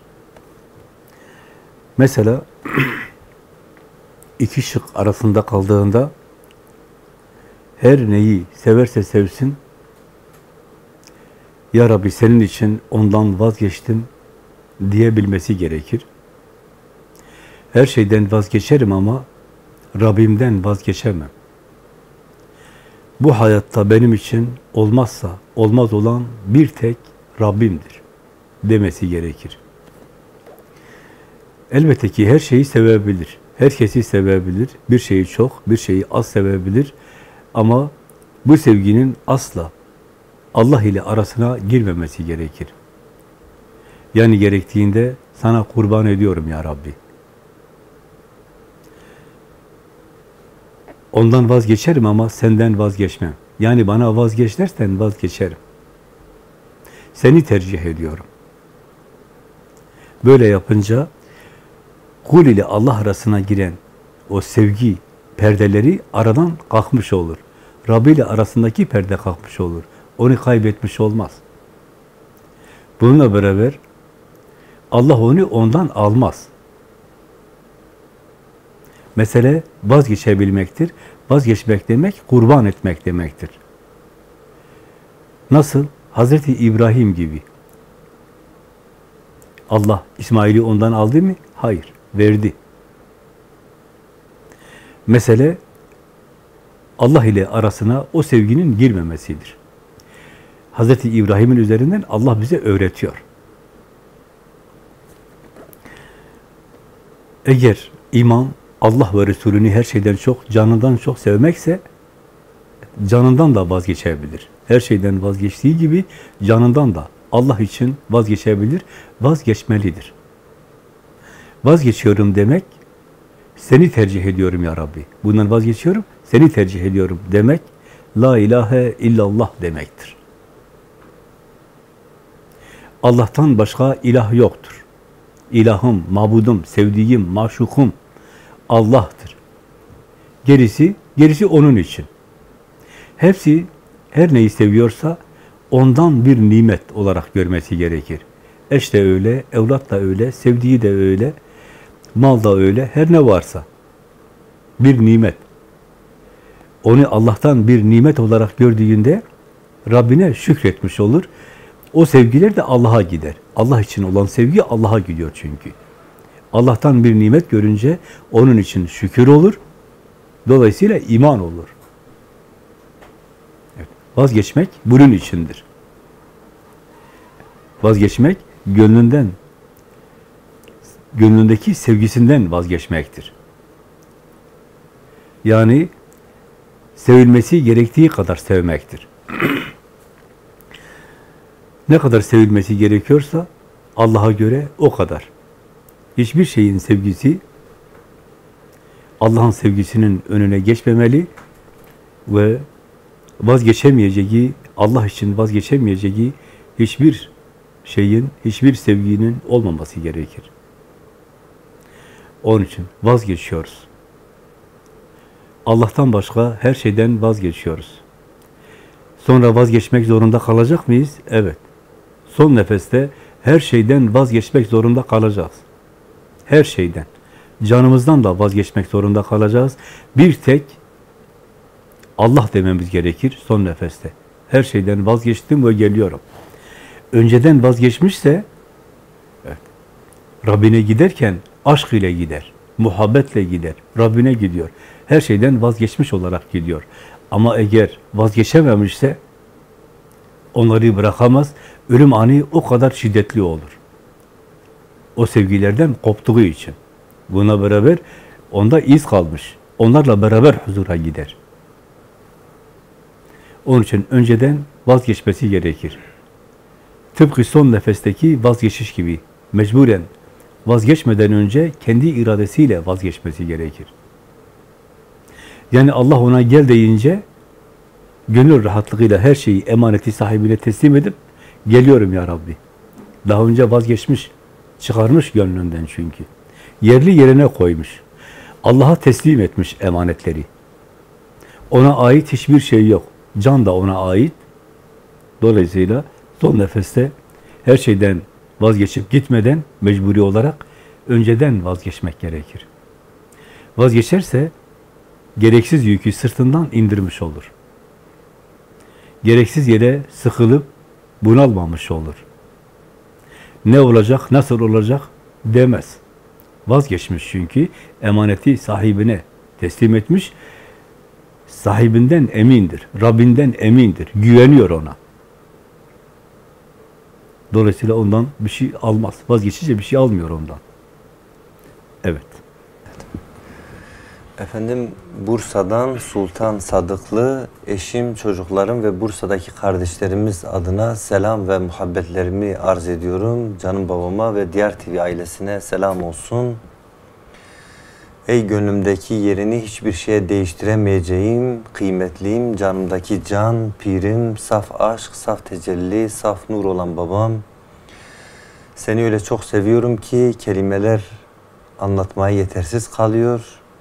Sen öyle bir cansın ki canımda, sen orada öksürsen benim burada ciğerim sökülüyor. Ne güzel şeymiş sevmek, ne büyük nimetmiş, aşk dolu bir iman. Ve Rabbimize hamdolsun ki bu hazzı seninle bilip tattık babam, hamdolsun. İnsan sevince kıyamıyor sevdiğine, sevince her şeyden sevdiği uğruna vazgeçebiliyor. Hamde hem de bunu da seve seve yapıyor. Hiç zorlanmadan hamdolsun, şükürler olsun alemler Rabbine. Terk eyledim şerden yana ne varsa, hayırlarda yarışalım sevdiğim. Geç kaldıysam huzuruna çıkmaya, küsme bana barışalım sevdiğim. Her anımda Rab eyleyip gönlümü, rabıtada buluşalım sevdiğim. Rabtu zapt et, Geri kalan ömrümü çok özledim, kavuşalım sevdiğim. Allah razı olsun. Hem kardeşimize hem Bursa'daki kardeşlerimize selam olsun.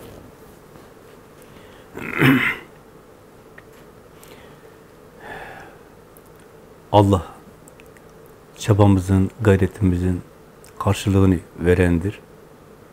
Hem de kat kat, en az bire on, yüz, yedi yüz hesapsız verendir.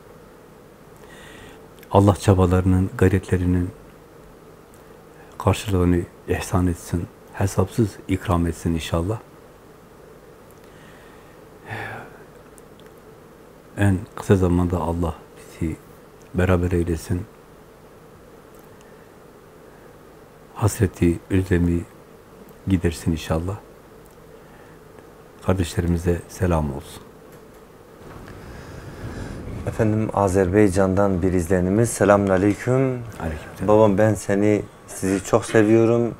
Sizi bize ikram eden Rabbime hamdolsun, dua istiyorum demiş efendim. razı olsun. Biz de kardeşlerimizi çok seviyoruz. Hem kardeşimize hem Azerbaycan'daki kardeşlerimize selam olsun. Allah yardımcıları olsun inşallah. Efendim Resul Göktaş Niğde'den Selamun Aleyküm mürşidimin ellerinden öpüyorum. Aleykümselam. Hürmetle saygılarımı sunuyorum. Mağfiret nedir diye sormuş efendim. Evet. Mağfiret nedir? Kul ne yaparsa yapsın Allah öyle buyurdu ayet-i kerimede. Allah bütün günahları mağfiret eder. Mağfiret Allah'ın Gafur isminin, Gafar isminin tecelli etmesidir. Hem her çeşit günahı mağfiret edendir, hem tekrar tekrar işlenen günahları mağfiret edendir. Mağfiret Allah'ın kulunu temizlemesidir. İşlediği günahı gönlüne gelen o lekeleri silendir. Hiç olmamış gibi muamele edendir. Allah bir kulü mağfiret etti mi, temizledi mi? Allah temizlenenleri sever. Temizliyor ve seviyor. Gafurun vedud. Temizliyor ve seviyor. Bunun için olması gereken şey nedir? Kulun Rabbinden mağfiret dilemesidir. Beni mağfiret et demesidir. Evet, hata işledim, yanlış yaptım, günah işledim, eksik yaptım. Senden beni mağfiret etmeni istiyorum. Gafur, Gafar isminin benim için tecelli etmedi, gönlüme tecelli etmesini istiyorum. Beni temizle ya Rabbi demiş olur. Allah mağfiret eder. Kul gönlüyle Rabbine dönüp mağfiret dileyince Allah mağfiret eder. Yalnız bir şart var orada. Allah'ın gafur olduğuna, gaffar olduğuna iman etmek gerekiyor. İman etmek gerekir ki Allah mağfiret eder, siler. Olmamış gibi. Nasıl iman etmiş olur? Ben iman ediyorum ki Allah günahları mağfiret eder. Bu yeterli bir iman mıdır? Hayır. Allah'ın her bir ismi için bu böyledir. Eğer iman etmişse o da o isimle isimlenir. Allah'ın kullarını mağfiret eder. Kullar yanlış yapar, ona karşı yanlış yapar ya da kendi kendine yanlış yapmıştır. O da mağfiret eder. Hiç olmamış gibi muamele eder. İşte mağfirete layık olan bu kuldur. Yoksa Allah'ın mağfiretine, gafurluğuna, gafarlığına kamil manada iman edememiş. Ne kadar o mağfiret ediyorsa o kadar iman etmiş ve iman ettiği kadarıyla mağfiret, Allah'ın mağfireti onun için tecelli eder. Çünkü tecelli onun gönlünedir. Eğer onun gönlünde kulları mağfiret yoksa Allah'ın gafurluğuna, gafarlığına ne kadar iman etmişse mağfiret onun için o kadar tecelli eder. O kadar temizlenebilir. Kendisi mağfiret etmesin, kendisi evet, hatayı, kusuru açığa çıkarsın, yüzüne vursun, affetmesin, ceza versin. Sonra Rabbine dönsün, beni mağfiret et. Allah demez mi kulum? Sen mağfireti sevmiyorsun. Mağfirete iman etmemişsin. İman etseydin sen de mağfiret ederdin. Sen mağfiret etmiyorsan benden mağfiret dileme. Onun için Resulullah Efendimiz buyurdu. Yeryüzündekiler birbirine rahmet ederse Allah da onlara rahmet eder. Rahmet etmezse Allah rahmet etmez. Yeryüzündekiler birbirini mağfiret etmezse Allah da mağfiret etmez. Onlar birbirini mağfiret ederse Allah da mağfiret eder. Yeryüzündekiler yani insanlar birbirini severse Allah da sever. Sevmezse Allah da sevmez. Her şeyi böyle anlamak gerekir. Allah'ın bütün isimlerini böyle anlamak gerekiyor. Evet. Efendim bir izlenimiz Rum suresi 30. ayeti sormuştu efendim. Evet. Nasıl anlamalıyız efendim? Teşekkür ederim efendim. Allah dinin Allah'a has kılınmasını emrediyor. Din tamamen has. Allah'a nasıl kılınır? Bütünüyle, bütün gönlüyle, her zerresiyle eğer Allah'ın dininde olursa dini Allah'a has kılmıştır. Evet, Allah insanları kendi fıtratında yaratmış buyurdu. Neyi öğretiyor Allah? Kendi fıtratında yaratmış. Allah ruhundan nefetmiş. Dolayısıyla kul Rabbini bilmek mi istiyor? Tanımak mı istiyor? Kendine baksın. Kendi üzerinde beni tanısın. Anlasın. Yoksa müşrik olur. Ondaki bütün güzellikler fıtratı yani Allah'a ait. Kul fıtratını Allah'tan alıyor. O vermiş. Yani onun görmesi, işitmesi, bilmesi, sevmesi, merhamet etmesi, ikram etmesi, kerimliği, cömertliği, affetmesi, mağfiret etmesi.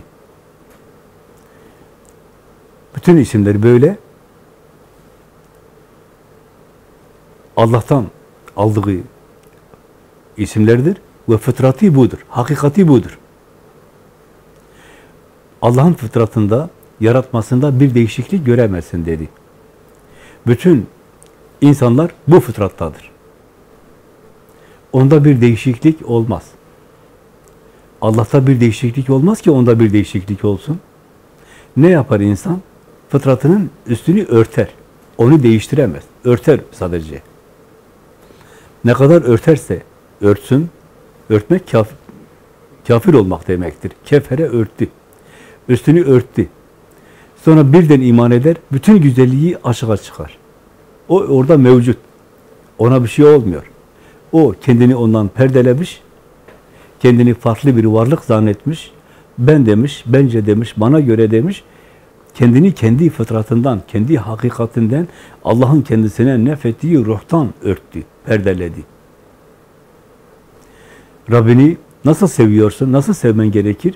Elbette ki kendi üzerinden, kendi fıtratından, kendi güzelliğinden. Sen o güzelliğe kendi üzerinde, kendinde şahitsin. Eğer Rabbini böyle anlamaz, böyle tanımazsan, Rabbine olan yakınlığı tadamazsın. İmani tadamazsın. Aşkı, muhabbeti tadamazsın. Ne diyorsun onun için? Beni yaratan Rabbim diyorsun. Allah deyince beni yaratan Rabbim demen lazım. Yoksa başka bir şeyi hayal edemezsin. İşte kainatı yarattı. Doğru. Seni yaratan Rabbini tefekkür etmen lazım. Onun huzurunda durman lazım. Beni yaratan Rabbim deyince bütün isimleriyle, bütün o isimleri kendi üzerinde görmen lazım. İsimleriyle tanıyorsun. Hem de kendi üzerinde. Hem de bunu tadarak. Bu durumda Rabbini kendi üzerinden sevdin. Kendi gönlünden sevdin. Kendini Rabbinle sevdin.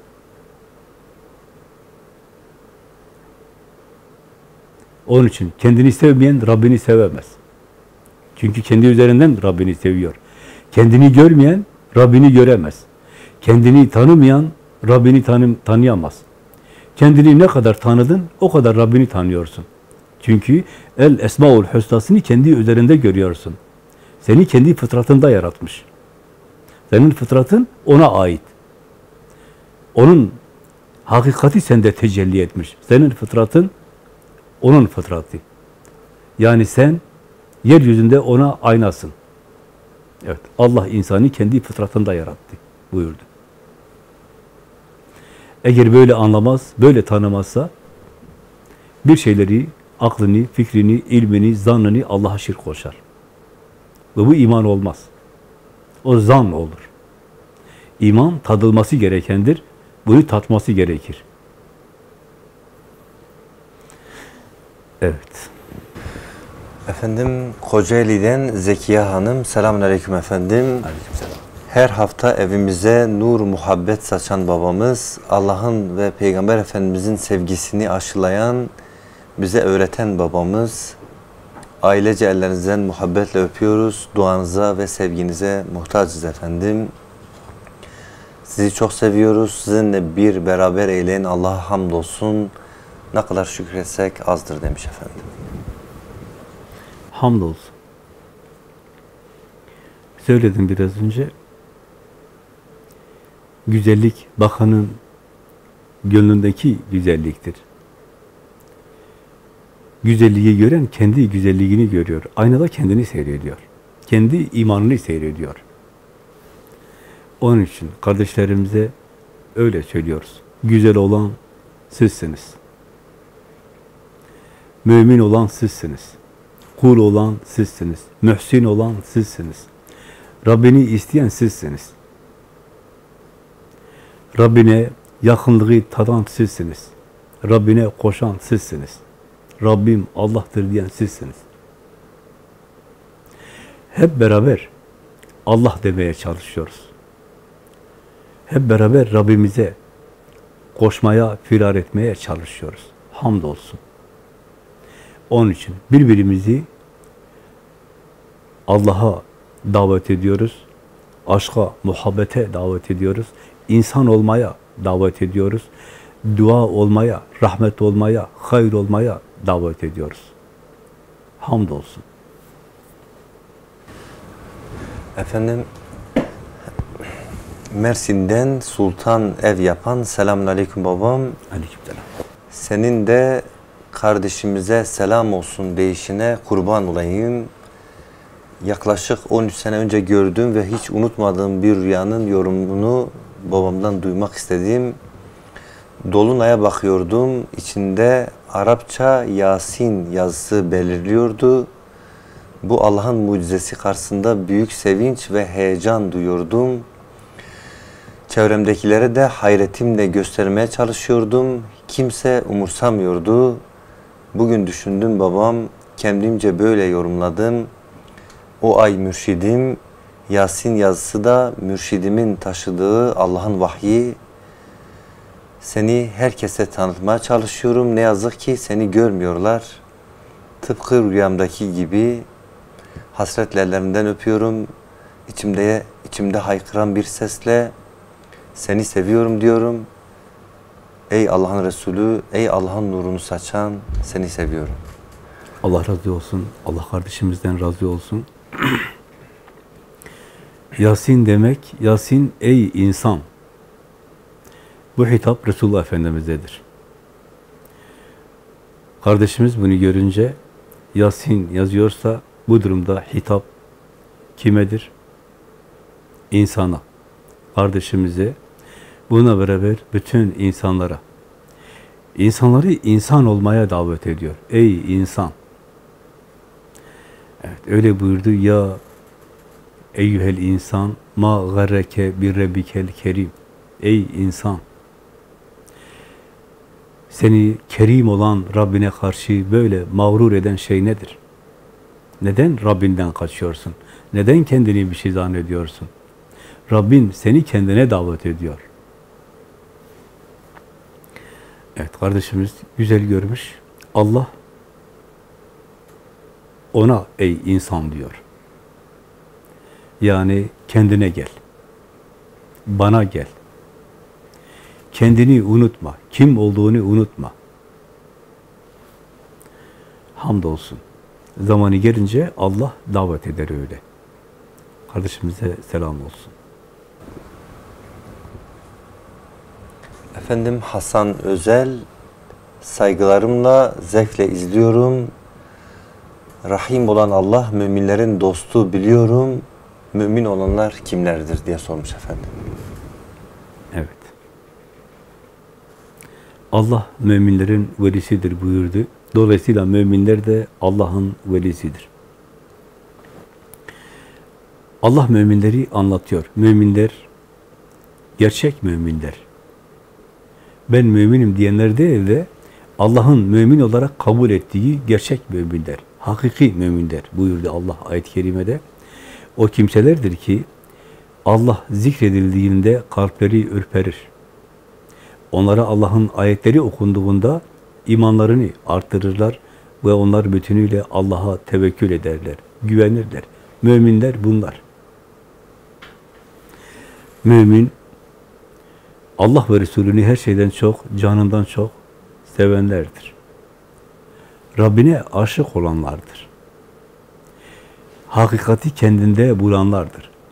Allah'ın güzelliğine, el esmaul husnasına kendisinde şahit olanlardır. O güzelliği kemale erdirmeye çalışanlardır.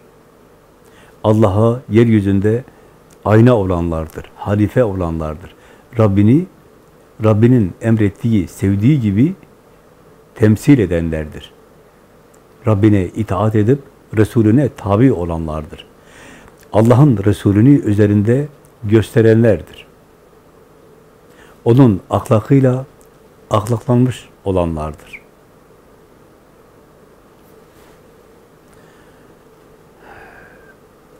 Dolayısıyla bunlar Allah'ın velisi, Allah da onların velisidir.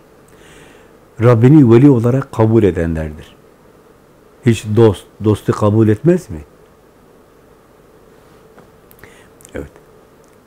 Allah'ı veli olarak kabul edenler, Rabbine teslim olanlardır. Güvenmiş olanlardır.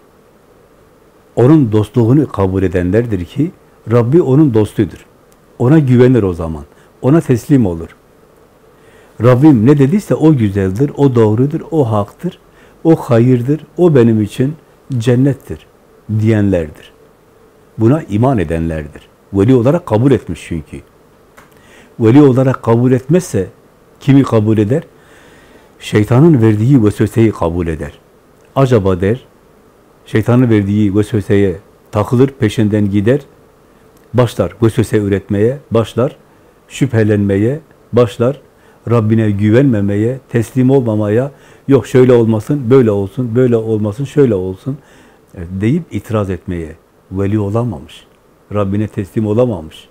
Rabbine güvenmemiş, Rabbinden emin olamamış. Dolayısıyla Rabbine veli olamamış. Onun veliliğini kabul edememiş demektir. Kul Rabbini velisi olarak kabul ettiğinde Allah da onu veli olarak kabul eder. O eğer kul Allah'ı veli olarak kabul etmezse, güvenmezse, teslim olmazsa, Rabbinin güzelliğine, rahmetine, mağfiretine, hayrına, evet, sevgisine şahit olmazsa, emin olmazsa, onu veli olarak nasıl kabul etmiş olur? Kul Allah'a ne kadar veli ise Allah da ona o kadar velidir. Velayet karşılıklıdır.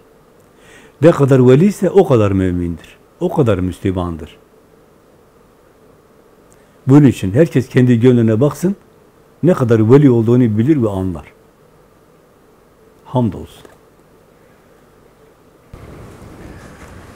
Efendim Diyarbakır'dan Fehime Hanım, sizi sevmek asr saadeti yaşamak demektir. Sizi sevmek sizde yok olmak demektir. Sizinle bir olmak demektir. Sizi sevmek aşkın deryasına dalmak demektir. Sizi sevmek Hazreti İsmail gibi kurban olmak demektir. Sizi sevmek Hakk'a giden yolda kanatlanıp uçmak demektir.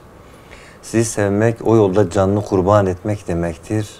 Sizi sevmek peygamberi bir ahlakla ahlaklanıp peygamberi bir hayat yaşamak demektir.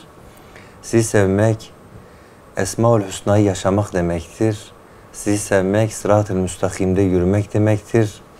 Sizi sevmek Subhan olan Allah'a kavuşmak demektir. Ve sizin güzel gönül aleminizde seni seviyorum, seni istiyorum Allah'ım deyip haykırmak demektir. Gül kokan ellerinizden öpüyoruz demişler efendim. Allah razı olsun. Kardeşimize selam olsun. Her şey sevmekle başlamış. Bütün varlığın yaratılış sebebidir. Aynı şekilde sorumuz da sevmek olmalıdır. Sevmek ve sevilmek. Allah'ı sevmek ve Allah'ın bizi sevmesi. Derdimizin bu olması gerekir. Bu olması gerekir ki hakikate erebilelim. Allah'ın muradı üzerimizde gerçekleşmiş olsun. İşin sırrına erebilelim. Yolu yürürken Allah bunu öğretir. Kulun gönlündeki, fıtratındaki, ruhundaki aşk tecelli eder. Kul yolculuğu kendinden kendine, gönlünde yaparken, gönül arşına vardığında Rabbinin tecellisiyle muhatap olur. Kim olduğunu tan anlar o zaman. Kendini o zaman tanır. Bir avuç topraktan, çamurdan ibaret olmadığını, Allah'a ait olduğunu anlar ve buna şahit olur. Söz biter. Sözün bittiği yere varmış olur. Evet. Efendim Giresun'dan Deniz Han'ın Yüce Allah'ın zatına davetli olmak için yani bu davete icabet edebilmek için kulun nasıl bir hazırlık yapması gerekir? Hocamıza ve tüm ekibinize en kalbi sevgi ve saygılarımla Allahu Teala'm razı olsun inşallah demiş. Amin. Allah bütün kullarını kendine davet ediyor. Bununla beraber öyle buyurmuştu ayet-i kerimede Allah dilediğini, kendisini dileyeni zatına seçer. Yolculuğun başlayabilmesi için kulun önce tercih yapması gerekir. Yani Rabbini tercih etmesi gerekir. Rabbini tercih edecek ki yolculuk başlasın. Yola girecek ki yolculuk başlasın. Rabbini tercih edince, Rabbine dönünce. Seni istiyorum ya Rabbi, sana iman etmek istiyorum. Sana kul olmak istiyorum. Ebedi hayatımı kazanmak istiyorum. Seni her şeye tercih ediyorum. Her şeyden vazgeçerim, senden vazgeçmem. Seni istiyorum. Dediğinde evet, yolculuk başlar.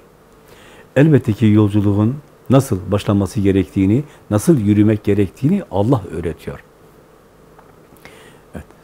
Fatiha'da Allah'ın kendisine nimet verdiği kullar, kullarla beraber sirat-i müstakimde yürümeye başlaman lazım ki İyyâke na'budu ve iyyâke nesta'in diyebilesin. Onlarla beraber söyleyebilesin. Onların söylediği gibi Allah'ın kendisine nimet verdiği kullar kulluk nimetini kazanmış olanlardır. Aşıklık nimetini kazanmış olanlardır. Onlarla beraber yolu yürümeye başladın mı sirat-i müstakimde Allah'ın emrettiği gibi, sevdiği gibi yapmaya başladığında onlarla beraber İyyâke na'budu ve iyyâke nesta'in demeye başlarsın. Yalnız sana abd oluyoruz biz hepimiz. Sirat-i müstakimdeki Allah'ın kendisine nimet verdikleriyle beraber ben de onlarla beraber onların söylediğini söylüyorum. Yalnız sana abd oluyoruz ve biz yalnız seni istihan ediyor. Seni sevdiğimiz için seni istiyoruz. Seni tercih ediyoruz. İşte Allah bu kulü zatına seçer.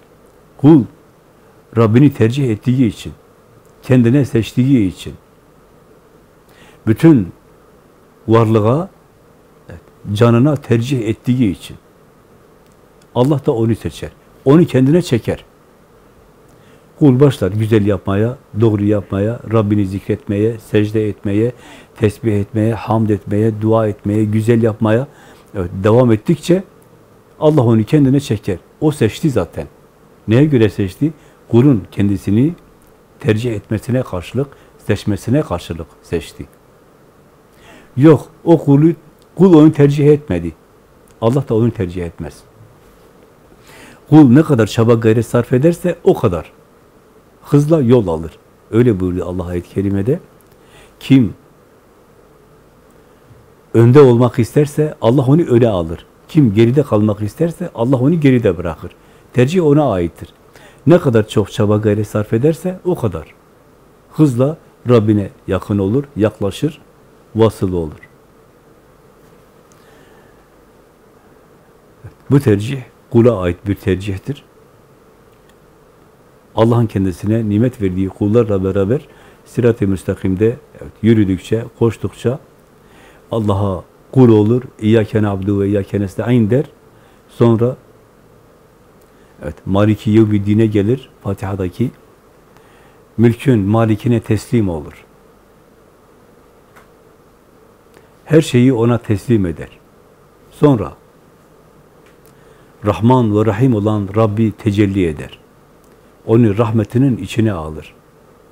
Evet, o zaman rahmetin içine aldığında cennettedir.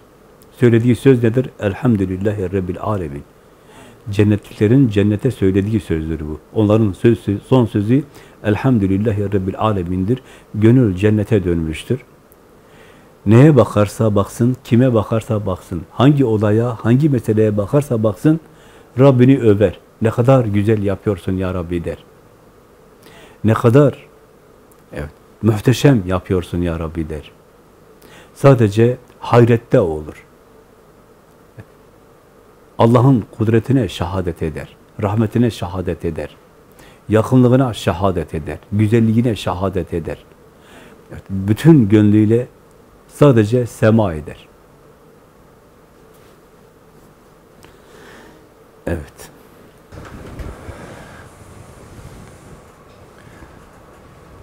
Efendim Lule Burgaz'dan Semiha Hanım selamünaleyküm. Aleykümselam. Canım pirim bugünkü oda sohbetlerindeki konuşmanız sanki beni okudu. Ben daha sizi zahiren göremedim ama sürekli rabıtayla sizinleyim. Bana verdiğiniz nefes beni ayakta tutuyor. O kadar ki daha sabah kalktığımda siz karşımda mutfağa gidiyorum, yürüyorum, oturuyorum. Her ne yaparsam yapayım, ne tarafa dönersem döneyim, sizinleyim. Ve Rabbim sürekli gönlüme vahyediyor. Diyor ki Pir Muhammed Hüseyin Hazretleri en orijinali, en hakisi diye gönlüm sürekli bu hitaba mazhar oluyor. Ve ben bu hitap karşısında sadece Rabbime hamd ediyorum, şükrediyorum. Size olan hasretim, sevgim ve özlemim o kadar çok ki bunu dil ile tarif etmek imkansız. Sizi çok seviyorum canım pirim. Sizinle ayaktayım, sizinle nefes alıyorum, hamdolsun diyorum. Mübarek ellerinizden hasretle öpüyorum.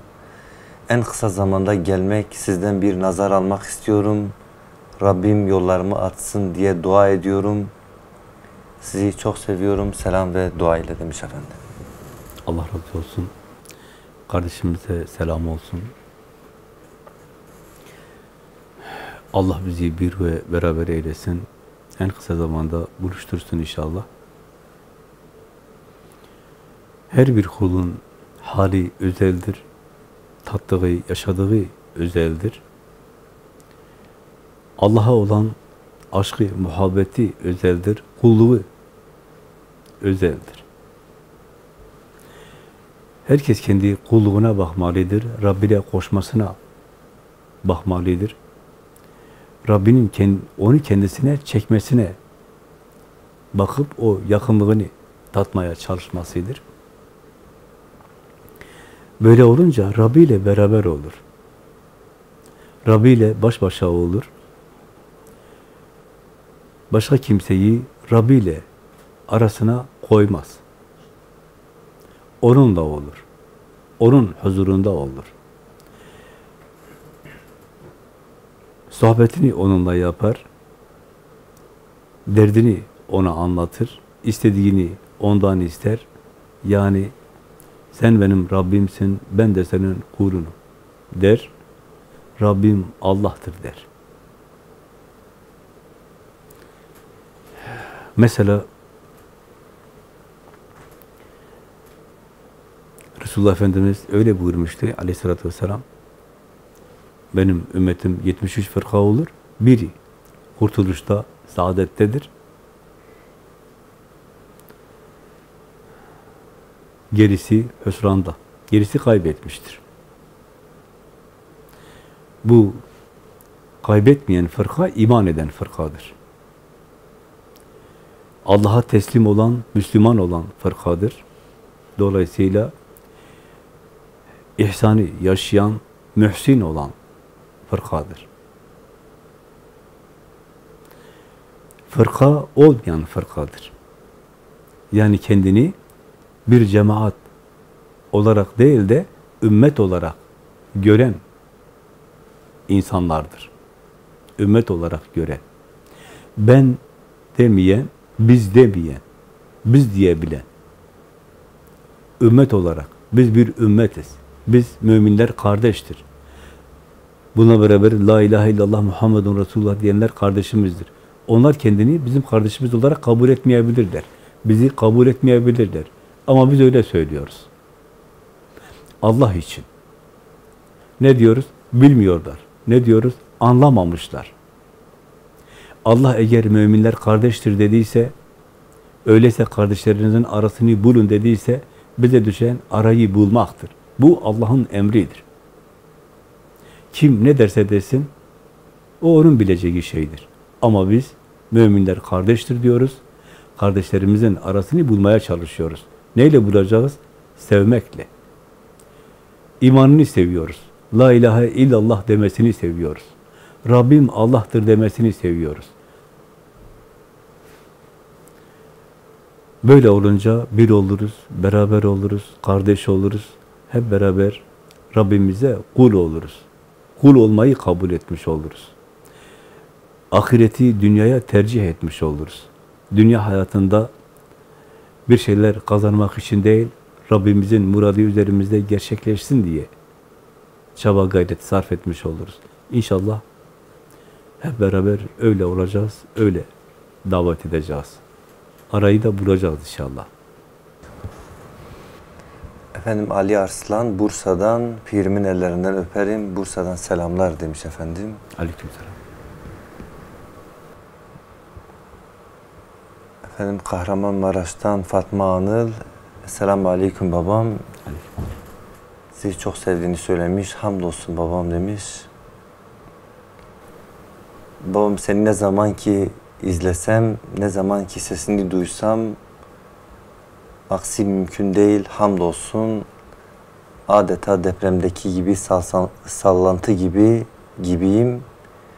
Şiddetini bilemeyeceğim bir şekilde hamdolsun babam demiş. Aslında süremiz daha az kalmış. Ben bir mesajla efendim müsaadeniz olursa as- aslında çok mesaj var. İzleyenlerimiz bir mahsur görsün.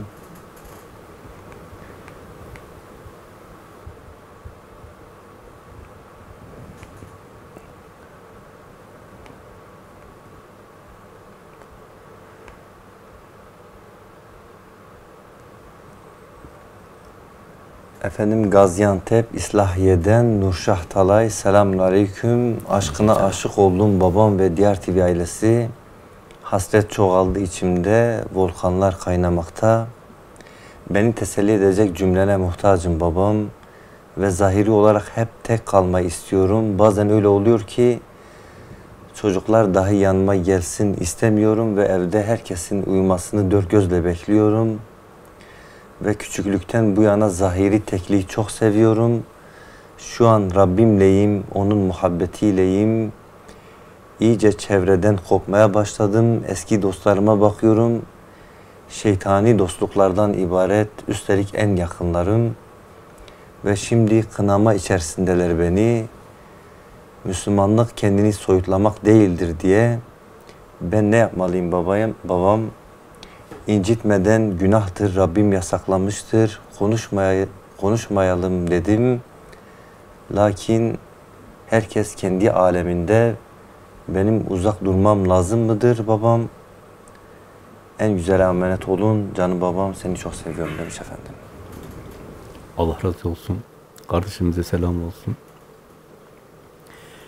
Yalnız kalmayı istemek insanın elindeki bir şey değildir. İnsan sevdiğiyle baş başa olmayı ister. Öyle ki kimse araya girmesin, meşgul etmesin. Sevdiğiyle o muhabbet halini yaşamayı ister. Bununla beraber onunla sohbet etmeyi ister, onu seyretmeyi ister, onu dinlemeyi ister.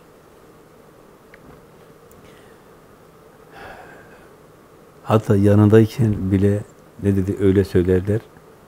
Yanındayken bile özler. Sevdiği. Kulun sevdiği Rabbi olunca bütün aşklar, sevgiler hepsi Allah'a olan aşkı, sevgiyi anlamak içindir. Ayet hepsi. Aşk ayeti. İnsanın insani sevme ayeti aşk ayetidir. Aslında sevdiği sonra anlaşılır ki onun üzerinde Allah'ın isimlerini, güzelliğini seviyor. Tecellisini seviyor. Onun için kul yalnız kalmak ister, o yalnız kalmak değildir. Onun ismi yalnız kalmak değil, onun ismi Allah ile olmayı sevmektir. Sevmek. Olur. Bu onun elindeki bir şey değildir. Sonra sonra ne olur? Sonra gönül öyle bir hal alır ki en kalabalıklar içinde bile onunla beraber olur. Sevdiğiyle beraber olur. Hiç kimse araya giremez. Hiç kimse onu meşgul edemez. Hiç kimse onu Allah'tan, sevdiğinden, maşukundan alıkoyamaz. Yalnızken de onunla beraberdir. En kalabalık yerde de onunla beraberdir. Konuşurken de beraberdir. Dinlerken de beraberdir. Bir iş yaparken de beraberdir. Yerken, içerken de beraberdir. Yetmez, uyurken de beraberdir. Onsuz olamıyor. Onsuz kalamıyor. Allah ile beraber olmayı seviyor. Dışarıdakiler bunu anlamayabilir. Söyledim. Daha sonra başka bir hal gelir. Evet, insanlarla beraber olur. Ama şu andaki hali bunu gerektiriyor. Yalnız kalmayı, yani Allah ile olmayı gerektiriyor onun için. Böyle istiyor, böyle seviyor. Kardeşimizin böyle devam etmesi gerekir. Buna beraber insanlarla beraberken de Rabbi ile beraber olmaya çalışması lazım. Sonra o öyle olur zaten. Evet. Efendim aslında birçok mesaj var arkadaşlar diyorlar. Zaman tamamdır efendim. Allah'ın selamı, rahmeti, bereketi, aşkı, muhabbeti, zatının tecellisi, esmasının tecellisi, güzelliğinin tecellisi bütün kardeşlerimizin gönlüne olsun, üzerine olsun, bütün müminlerin, Müslümanların gönlüne olsun, üzerine olsun. Allah bizi bir ve beraber eylesin, kardeş eylesin, birbirine cennet yolunda yardımcı eylesin, bizi birbirimize rahmet eylesin, hayır eylesin, hidayet eylesin inşallah. Allah huzura alırken bir dost gibi, bir sevgili gibi huzura aldığı kullarından eylesin. Allah bizi dünyada mahcup eylemesin, ahirette mahcup eylemesin. Bizi huzurunda mahcup eylemesin. Dünya hayatını yaşarken Allah'ın hesabını, Allah'ın rızasının hesabını, ahiretinin hesabını yapanlardan eylesin. Her ne olursa olsun Rabbim ne der diyenlerden eylesin. Rabbim nasıl sever, Rabbim nasıl razı olur diyenlerden eylesin, gereğini yapanlardan eylesin inşallah. Kardeşlerimize muhabbetlerimizi arz ediyoruz. Efendim çok teşekkür ederiz. Sevgili izleyenlerimiz inşallah soramadığımız soruları, sorunları inşallah haftaya Efendimiz'e sormaya devam edeceğiz. Buluşuncaya kadar hoşça kalın, esen kalın. Bizi yaratan Rabbimize emanet olun efendim.